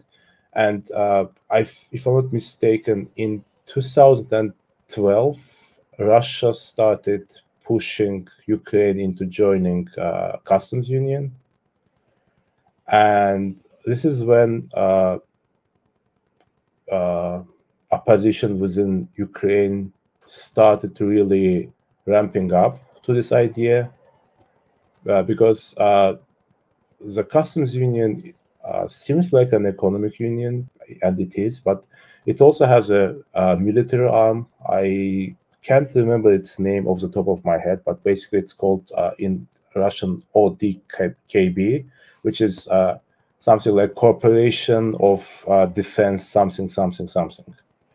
And uh, being in customs union implies that you also have to be part of ODKB, which would put Ukrainian army under the uh, Russian uh, leadership, let's say. So it's kind of a form of NATO. So uh, in 2012, uh, this tension started to flare up. Eventually, in 2013, if I'm not mistaken, EU uh, and Ukraine ne- were negotiating regarding uh, how Ukraine can enter the European market. And uh, to be honest, at that point in time, again, we didn't expect that Ukraine will be accepted because, uh, as uh, you guys mentioned, NATO has a whole bunch of rules to be part of it, and uh, this is the same for EU. Uh, there, there should be certain democratization of the economy. There should be certain uh, liberal laws adopted, etc., etc., etc. And Ukraine was nowhere close in 2013. But despite that, uh, EU kind of gave them uh, what they call a roadmap. So uh, this is 10 things that you have to do to be able to be considered for our membership. And uh, Yanukovych kind of, I, I'm trying not to editorialize this, but Yanukovych kind of showed that he is interested in implementing the roadmap. Uh, but almost immediately afterwards, uh, in 2014, he um, he announced that Ukraine will be joining the uh, customs union, and that's when what we now call Euromaidan uh, began. So the word Maidan uh, means square, as in the place that you hold a rally. And uh, there's a big one in the center of uh, Kiev uh, that's called Square of Independence. Yeah, uh, that's that's a picture from it. Uh, so there are too many details to go in, but basically the idea of this movement called Euromaidan uh, was to uh, enter EU, to have uh, Ukraine to be on the path to enter EU. Uh, I remember uh, in 2014, the uh, polls conducted within Ukraine, uh, there was a like something like 55 to 60 percent desire to enter EU, and only something like 25 percent of people wanted NATO membership. So the NATO membership wasn't discussed, it wasn't uh, talked about, it wasn't even popular within the opposition movement itself.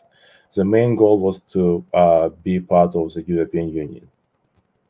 Uh, we don't know who was behind this, but at some point during the protests, a hundred or so protesters were killed by the uh, snipers and uh, that led to the escalation of the situation. Uh, obviously, uh, fights with the police, fights with the army, etc., etc., etc. At some point in 2014, I think it was something like early March or early April, uh, Yanukovych announced that um, he was under threat. Uh, he was get he was going to get killed so he left Kiev for Kharkiv first and then for Russia. And this is basically the history of uh, the Euromaidan movement. Okay. And and that was uh, distinct, uh, uh, distinct and abrupt change in terms of Ukrainian politics, right? The, Yes. the, like that was um, because suddenly you started having more presidents who were uh, were fairly pro um, e- uh, not just um, not just kind of like ambivalent about uh, joining the EU, but just like straight up wants to um, implement all the tests of of joining the EU.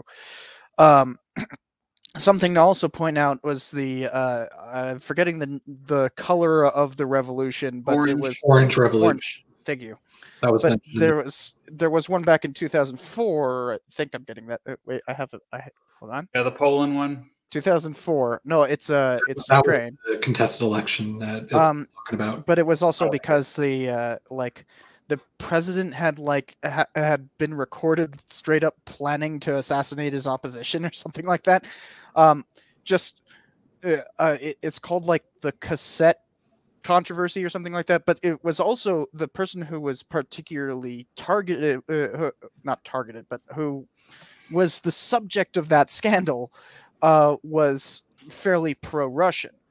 Um, so there, so even before the um, my, I'm going to say it wrong, Maidan. Yeah, that's perfect. we Right. struggle with the Cool.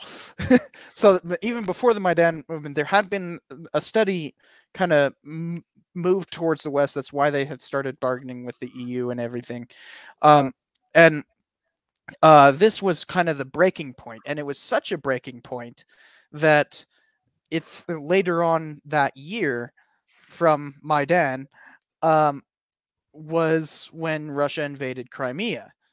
Um, so you could see a direct response to the loss of uh, of not exactly a puppet regime or anything, but like a vaguely pro-Russian regime. I mean, after all, the president literally fled to Russia, right? Mhm.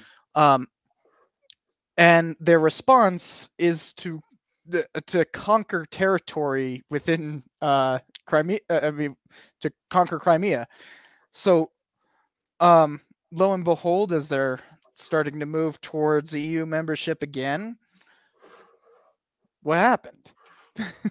they start building up troops on the border, recognize uh, the breakaway states in the Donbass, and then initiate an entire um, an entire invasion.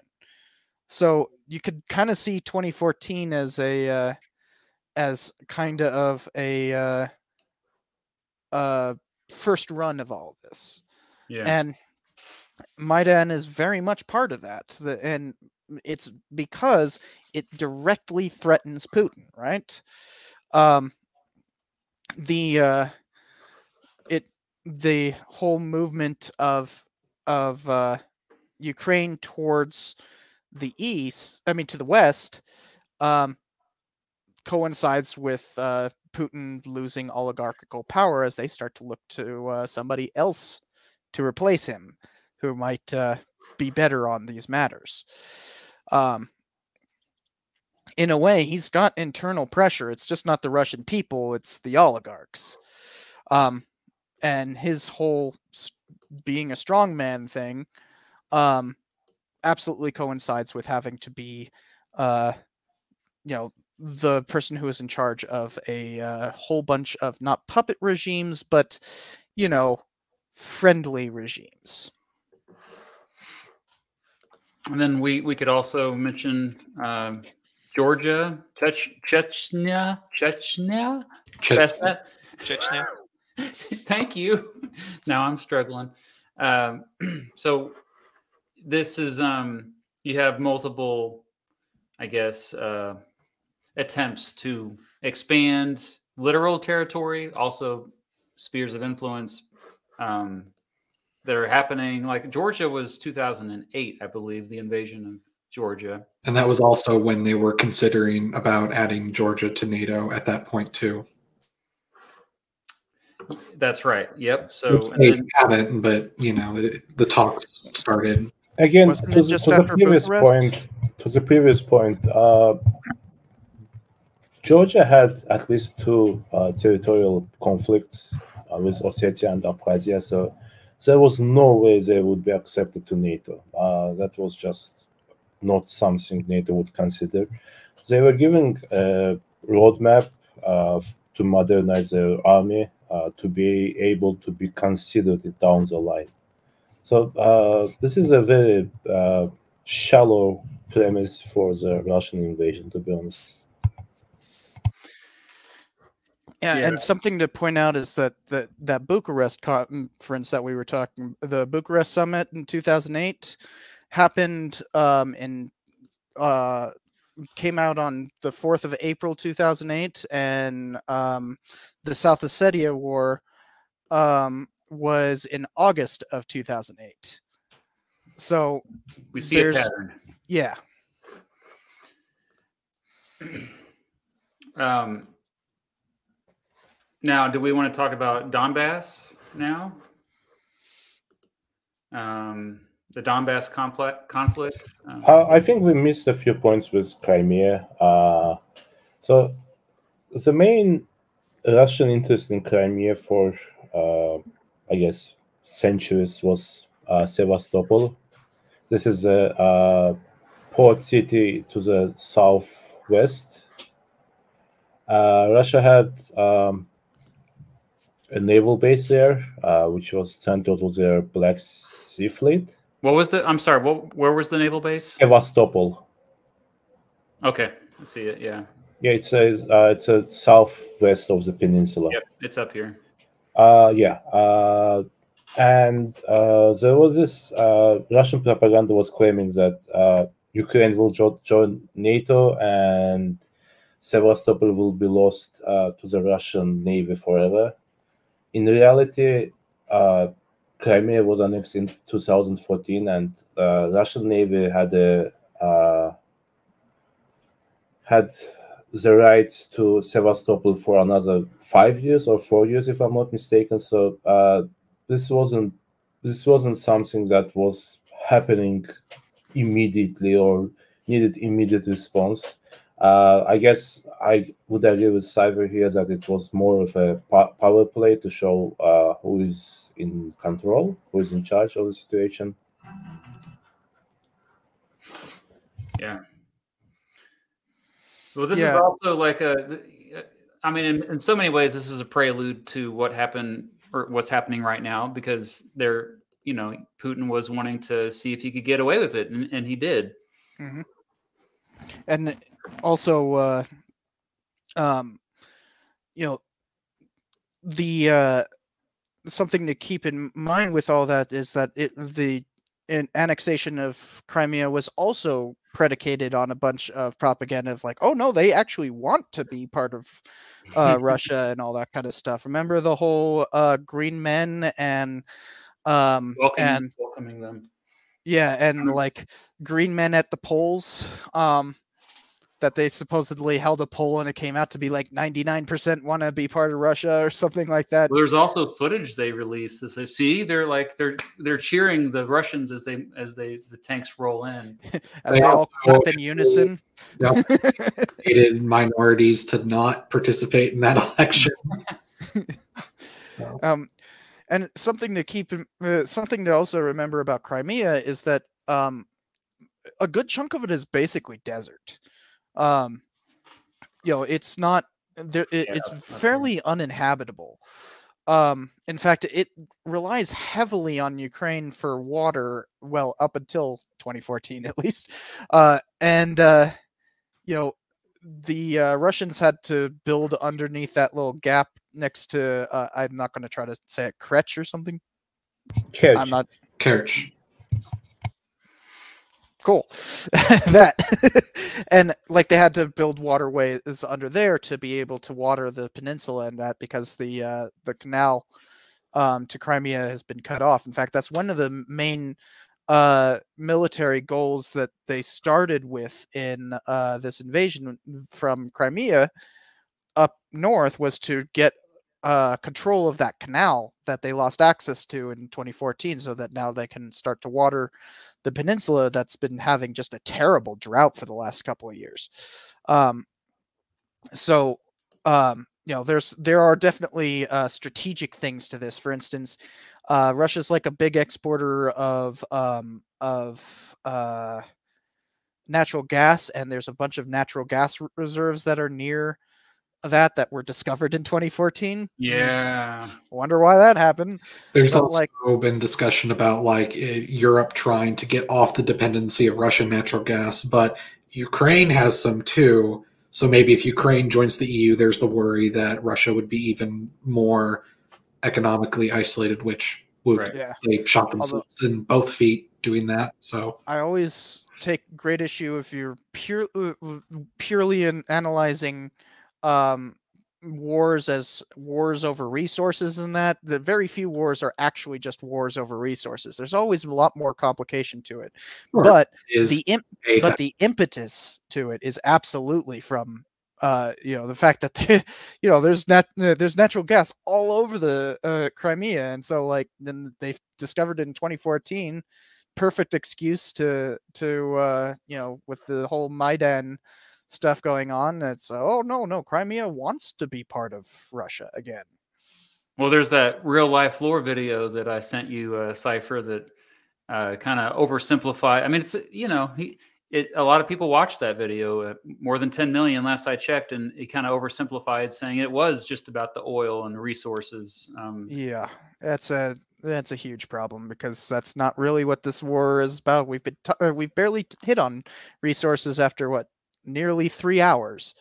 I mean, it Um, underlies everything, like you said, but yeah, there's just so much more to the story that it would such it's such a it's a it's a it's almost a dangerous oversimplification, yeah. Because like if you really, I think um, it's never that simple. Mhm. Well, it's that's why Putin did the whole like, oh no, we, they want to be part of Russia. It's not purely because of resources or anything. It's because they have this like historical claim to Crimea that uh, uh, like Crimea was part of Russia all the way until uh, I think it was 1961. Um, 54. 54, really? Khrushchev was the one who passed Yeah. it over to Ukraine. Yeah, but Khrushchev didn't really solidify his power for a while. Um, okay. Um. Anyways, the uh, uh, th- the fact is, it's not until the mid twentieth century that the uh, that Crimea becomes part of Ukraine. So they were very much playing this this political game of well, and it was we do have to be fair. Like um, you know, when Ukraine first became a country, overwhelmingly most of the country was all for independence, but um, Crimea was it barely half of of Crimea. I think I looked it up. Fifty-five percent. Yeah, only Fifty-five percent with a sixty percent turnout. Yeah, so I mean that's uh, okay. but that's still a majority. Um, and you know, it's really hard to to gauge what they actually want when you have what were uh, up until the actual like official annexation were called the Green Men because they weren't wearing their uh, their uh, flag on their right arm. Um, but they uh, they were very obviously Russian troops, and you know Russia kind of started to do the same thing with Donbass, um, playing the game of like, oh no, we're now recognizing these republics, and then Putin just went, ah, screw it, all in. Um, that that was what surprised me with all the stuff that happened a few weeks ago. That started all this a couple of weeks ago was the fact that he seemed to be playing the same book with the Donbass.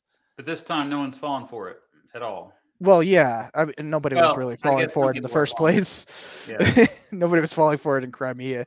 Uh, but like, he seemed to be playing that game, and then just one night, he just completely turned it around and said, "No, all of Ukraine."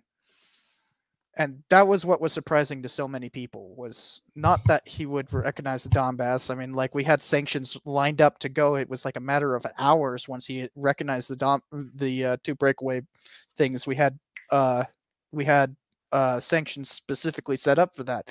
But then once the war got started, suddenly everybody's just like, okay, what do we do?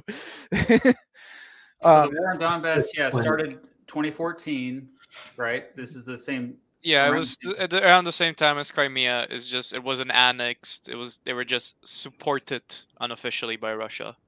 Uh, Mhm. these like breakaway states and around been a, around Donetsk and Luhansk, the main two cities.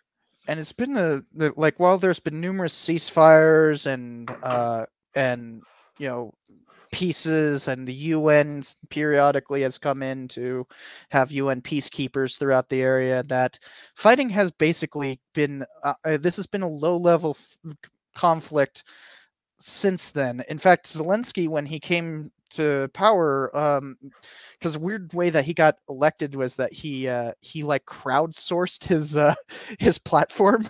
Like he literally just like had like uh instagram posts going like hey what should i talk about? And like you know got that his stuff from that and one of the things was of course peace in donbass um and he proclaimed that it was and you can actually see his approval rating up until a few weeks ago just plummeting because um like it wasn't getting solved um even though that was one of the things he campaigned on.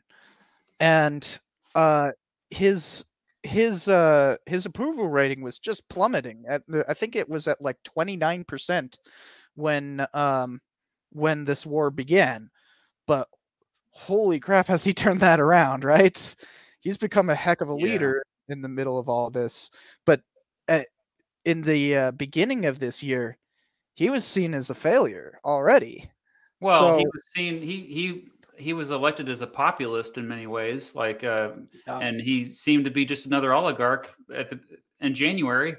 But then once he, I think once he made that decision to uh, stay and fight, that was a whether it be a PR move or like I, I think it's genuine. I think this guy believes in um, Ukraine a- a- in every meaning of, the, of what Ukraine is. Um, yeah, he's a hero now. He's it's hard to like, and it's funny how we just are now bringing up uh, Zelensky. We're almost three hours into this stream. He's only been in office for how long? Since 2019. Yeah. Uh, and he's someone who I would not say was like, I mean, an anti-Russian dude. He was just like not like a puppet to them. Yes, this like- is important point actually. Uh, there's propaganda going on that uh, Zelensky is Maidan president, but Mhm. uh, the person who was elected after Maidan is a dude called Poroshenko, and Zelensky defeated him uh, in 2019. So uh, this is uh, all, already the power in Ukraine changed after the Maidan. So uh, again, that propaganda piece makes no sense to. Uh, well, I've also heard, uh, I've seen a bunch of tanky comments talking about color revolutionaries doing everything in Ukraine. It's like, are you talking about 2004? and it's like, what? but, uh, but what's interesting with uh, Zelensky is that he was elected as like a populist, right? He, uh, I mean, he very much like Trump. He was, uh, he's a freaking um, TV star and uh, he even starred in a uh, in a movie where like a, as an accidental president, Yeah. and then he becomes president. Um, but like, um, mostly he was railing against an establishment, which is base, uh, which is the basic rule book of being a populist. You have something that you're is some sort of establishment that you're fighting. Um, and the uh, um, but his his platform was never very clear to begin with. It was mostly a referendum on the previous president. Um, yeah. Very demagoguery. yeah, and um, and so like it was very much about like uh uh, the the one clear thing that he campaigned for was that he wanted to end the conflict in Donbass. Um, and uh, he also had, had been making serious moves towards the EU, which started up the military buildup of in the. Uh, I mean, the whole thing that started this um, was his move towards the EU. Um, and funny thing is, I think that's kind of backfired in Putin's face, especially when Zelensky did that fairly emotional, um, you know, speech in front of the EU and everything. Mhm. Um, now the EU is very much like, let's bring him in. Yeah, it's. I mean, I I feel like. um I mean, I, I, I maybe is there anything else before talking about the current state of things? Um, and is there anything else we want to bring up in terms of between the years 2014 and 2022 in Ukraine? Any other things we should bring up to add better context to what's going on right now? Are we missing something? It's important to understand what's going on in Donbass. Uh, Yeah, we didn't talk about that much. most most people in the leadership of Donbass are not locals. Like uh, we can, you, uh, it's it's easy to understand that Donbass is predominantly Russian-speaking region, etc., etc., etc. But uh, the people who were at the start of the movement uh, to create this called republics in Donbass, they weren't from Ukraine, they were from Russia. Uh, most of them were uh, veterans of Russian army to some extent, or of Russian secret services. and uh, it was openly known uh, that their leader at the time, the dude called Girkin, uh, he was previously active during the uh, Russian support of the war in Abkhazia and Ossetia. So uh, this is uh, this was just a continuation of the green men tactic to some extent. Obviously, there were people in Donetsk and Luhansk who were on the side of Russia, but uh, the leadership was and still is uh, from Russia itself. So this is, uh, I guess, the term that we would use is astroturfing to some extent. mm-hmm. And speaking of uh, of you know the that it's a mainly Russian speaking region, and that something we should talk about, and I know um, uh, Ma- uh Mattis is uh, Matus, yeah. sorry. no worries. Um, is especially good on this. Um, language laws.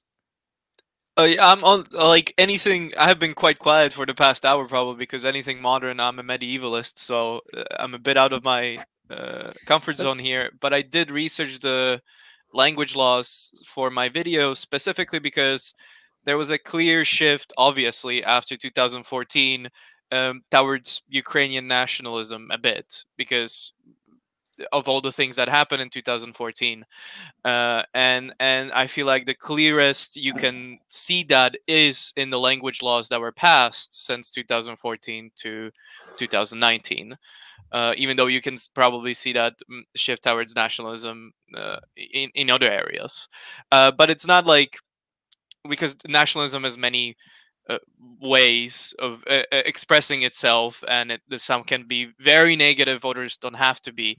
So uh, that's another thing uh, that needs to be uh, that like you should take into account that like a lot of people might think like, "Huh, nationalism." That's bad, or some depending on what political spectrum you're on, and but it wasn't. It isn't full nationalism. It just means that more more nationalistic ideas started to be implemented when it came to the Ukrainian language. Because before before then, there was a very bilingual kind of stance on language in Ukraine. A lot of people used Russian, uh, who would see themselves as ethnic Ukrainians.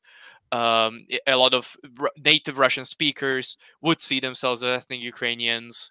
Uh, so mm-hmm. la- language was on everything, but uh, uh, to standardize this more, standardize this more, and to build more of a national narrative and culture, it, it's kind of going back all the way to Herder, honestly, uh, a historian who who was very into linguistics, who was very big proponent of nation states having one one language, and this was Ukraine since the 2014 started implementing laws to try to have one national language, and that'd be Ukrainian and not Russian.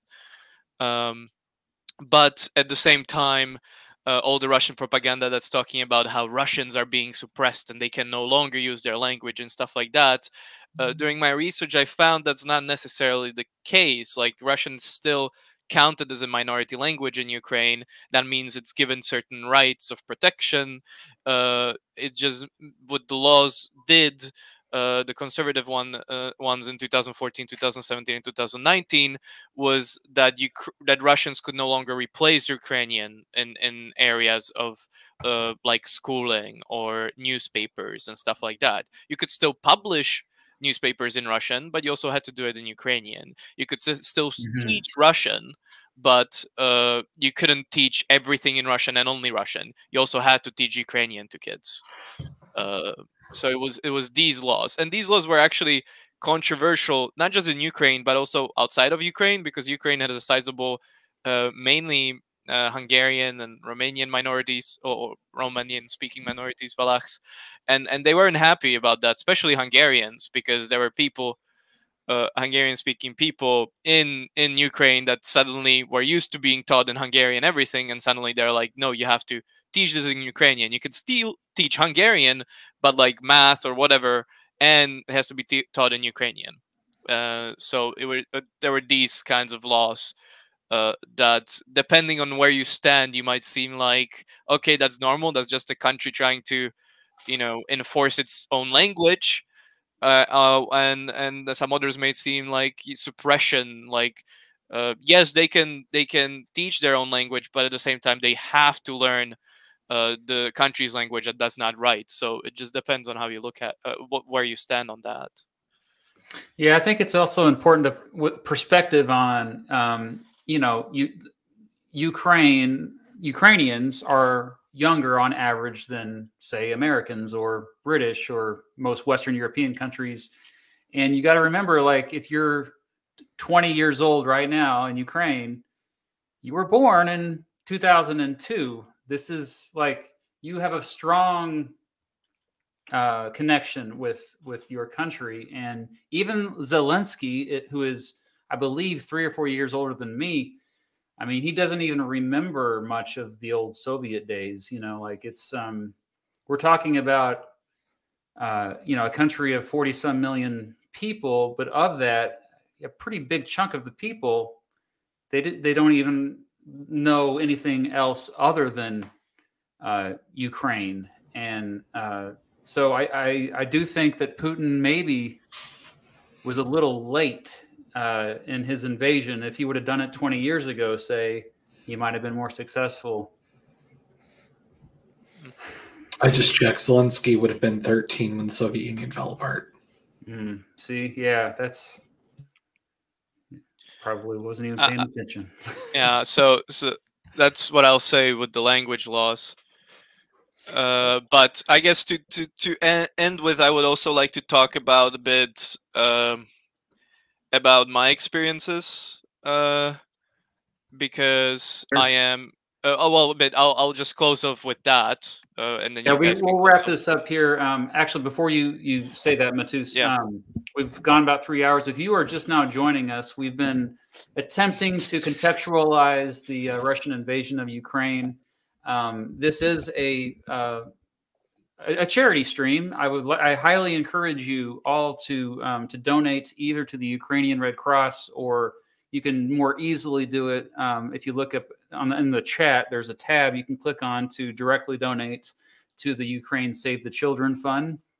Again, there are at least a million Ukrainian children who are displaced because of this conflict, and this is just one easy way that you can help. Um, It so I, says that we raised thirteen thousand dollars it- already. that's a bunch of YouTubers collectively. Actually, this is oh, okay. I was like, whoa. yeah. I uh, I snatched this from uh, Alternate History Hub's. Uh, he he was doing the same campaign. So yeah, uh, but yeah, we're gonna wrap this up by kind of uh, looking at today. And yeah, Matus, you want to kind of because uh, may, maybe tell the audience where you're from too. That would help. Yeah, that would that would help maybe. Yeah. So I'm from Slovakia. Uh, I have uh, I was born there. I grew up there. I speak Slovak. Uh, and uh, so Slovakia borders Ukraine. If you don't know, not a big border. Poland has a much bigger border, but we do border Ukraine. And when this whole thing started, I was in Slovakia actually at the time. I'm not there anymore. Um, and it was it was a big shock to everyone in Slovakia, and it still is. And I'm sure it's a big shock to all the bordering countries that that are.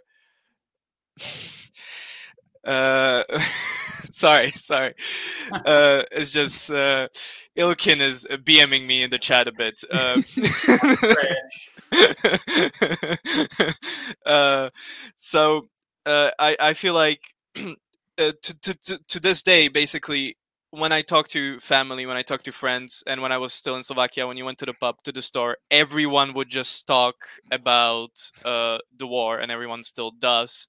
And everyone, a lot of people still have memories of the old communist regimes, which were propped up by the uh, USSR. And for example, my grandfather uh, was married August 20th, 1968, which is when the Soviets invaded Czechoslovakia because it was leaning too far away from their sphere of influence.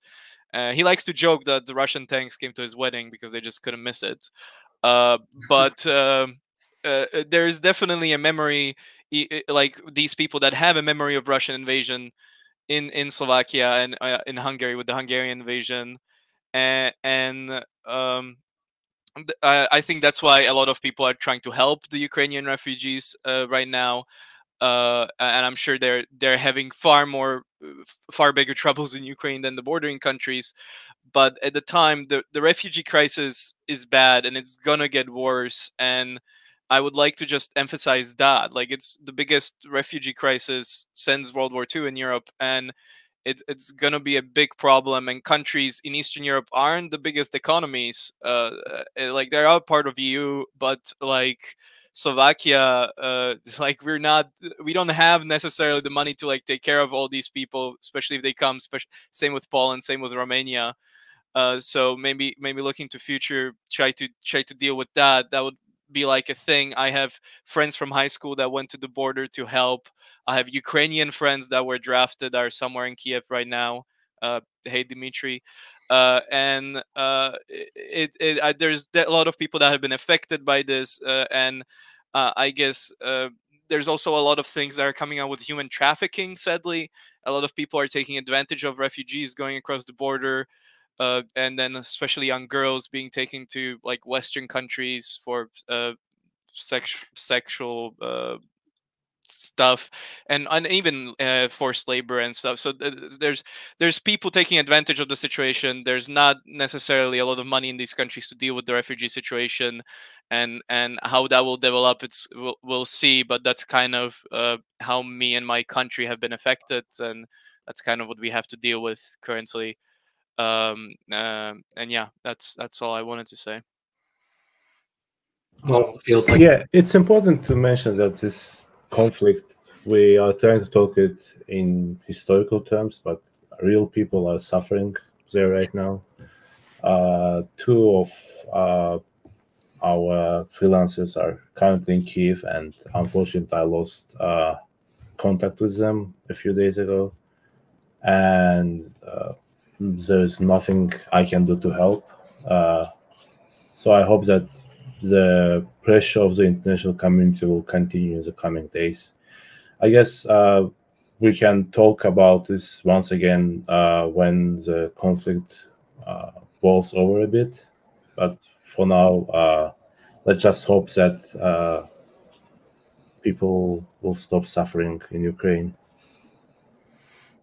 Yeah, and uh, this is something I didn't want to talk about. Frankly, I didn't want to do this. I was actually Mrs. Beat told me not to do this stream. She's like, "Why are you even?"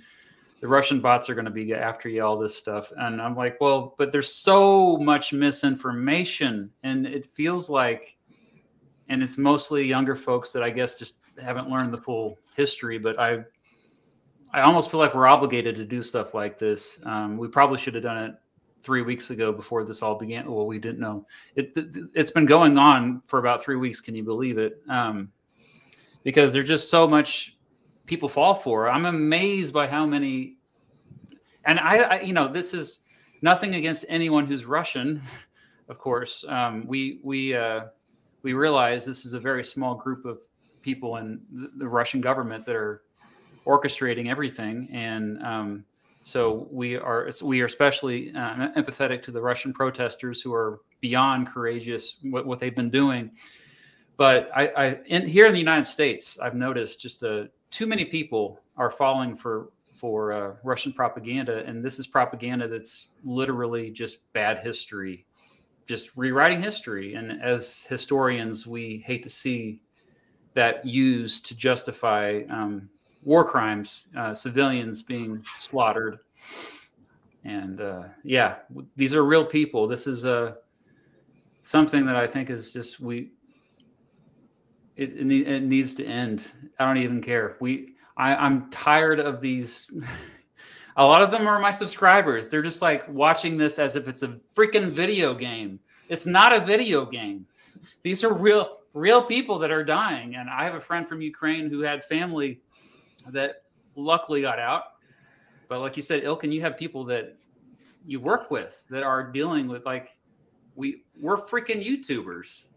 How privileged are we that we, you know? And I'm watching Ukrainian um, vloggers who they've turned into uh, real journalists because they are just like this is what's happening as I'm trying to escape my country and we, must never forget that. Sorry to rant a little bit there. Anyone else want to have uh, final thoughts about where we are today? I mean that that's perfectly summed because like there there's one channel in particular and I I forget the full name because it's just his name. It's like Andre starts with the V, but like before I, I was like sub to him just because like he was a Metallica fan and he played guitar and he just did a lot of like, oh look at me, I'm playing Metallica on the guitar and that's like all he did. But as soon as like the war began, it instantly turned into like first person vlog about, hey, so me and my family just got on the last available train out of Kiev and we fled to Lviv and oh hey, so there was a bombing raid the, the other day and just like instantly overnight. You know, that's, that's happening to everyone.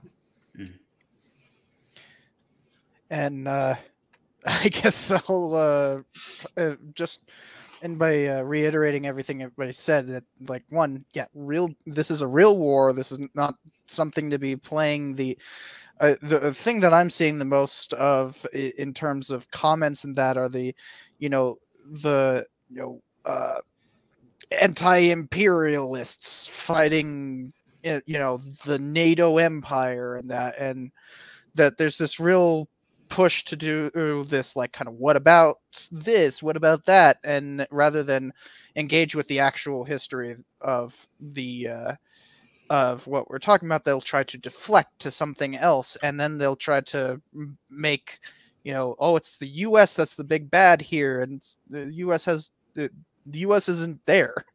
Um and you know the, the uh and uh, to reiterate that we need to think about the people who are there, that uh, that are facing this, that uh, fight fight the propaganda as best we can as historians, but also redirect that support from you know ourselves to charity, which is hopefully the intent of this entire stream is to fight the fight the propaganda give a greater context to the entire situation and to uh and to lend support to a a just cause All right. Well, I think we'll end it there. Um, I want to thank you all for joining um, and uh, providing your uh, really valuable insights to this because I know I don't know much about enough about it. So um, make sure you subscribe to all their channels as well if you haven't already. I'm sure most of you already. Emperor Tigerstar, M Laser, uh, Cynical Historian, Kings and Generals, um, and uh, Hikma History. Thank you, uh, Tariq, for joining us earlier sorry that Cody couldn't make it from Alternate History Hub, but he wishes he could be here. Um, again, the charity that um, you can support directly there, if you look above the, the chat, it's called Ukraine Save the Children Fund. Um, if you want more information about it, there's links there too. You can, you know, it's always good to check out the charities that you're supporting, make sure it's legit. Um, but until then, um, stay safe, especially um, our Ukrainian and, and Russian friends who are just trying to survive. Uh, we wish you all the best. And um, thank you for watching. Wha-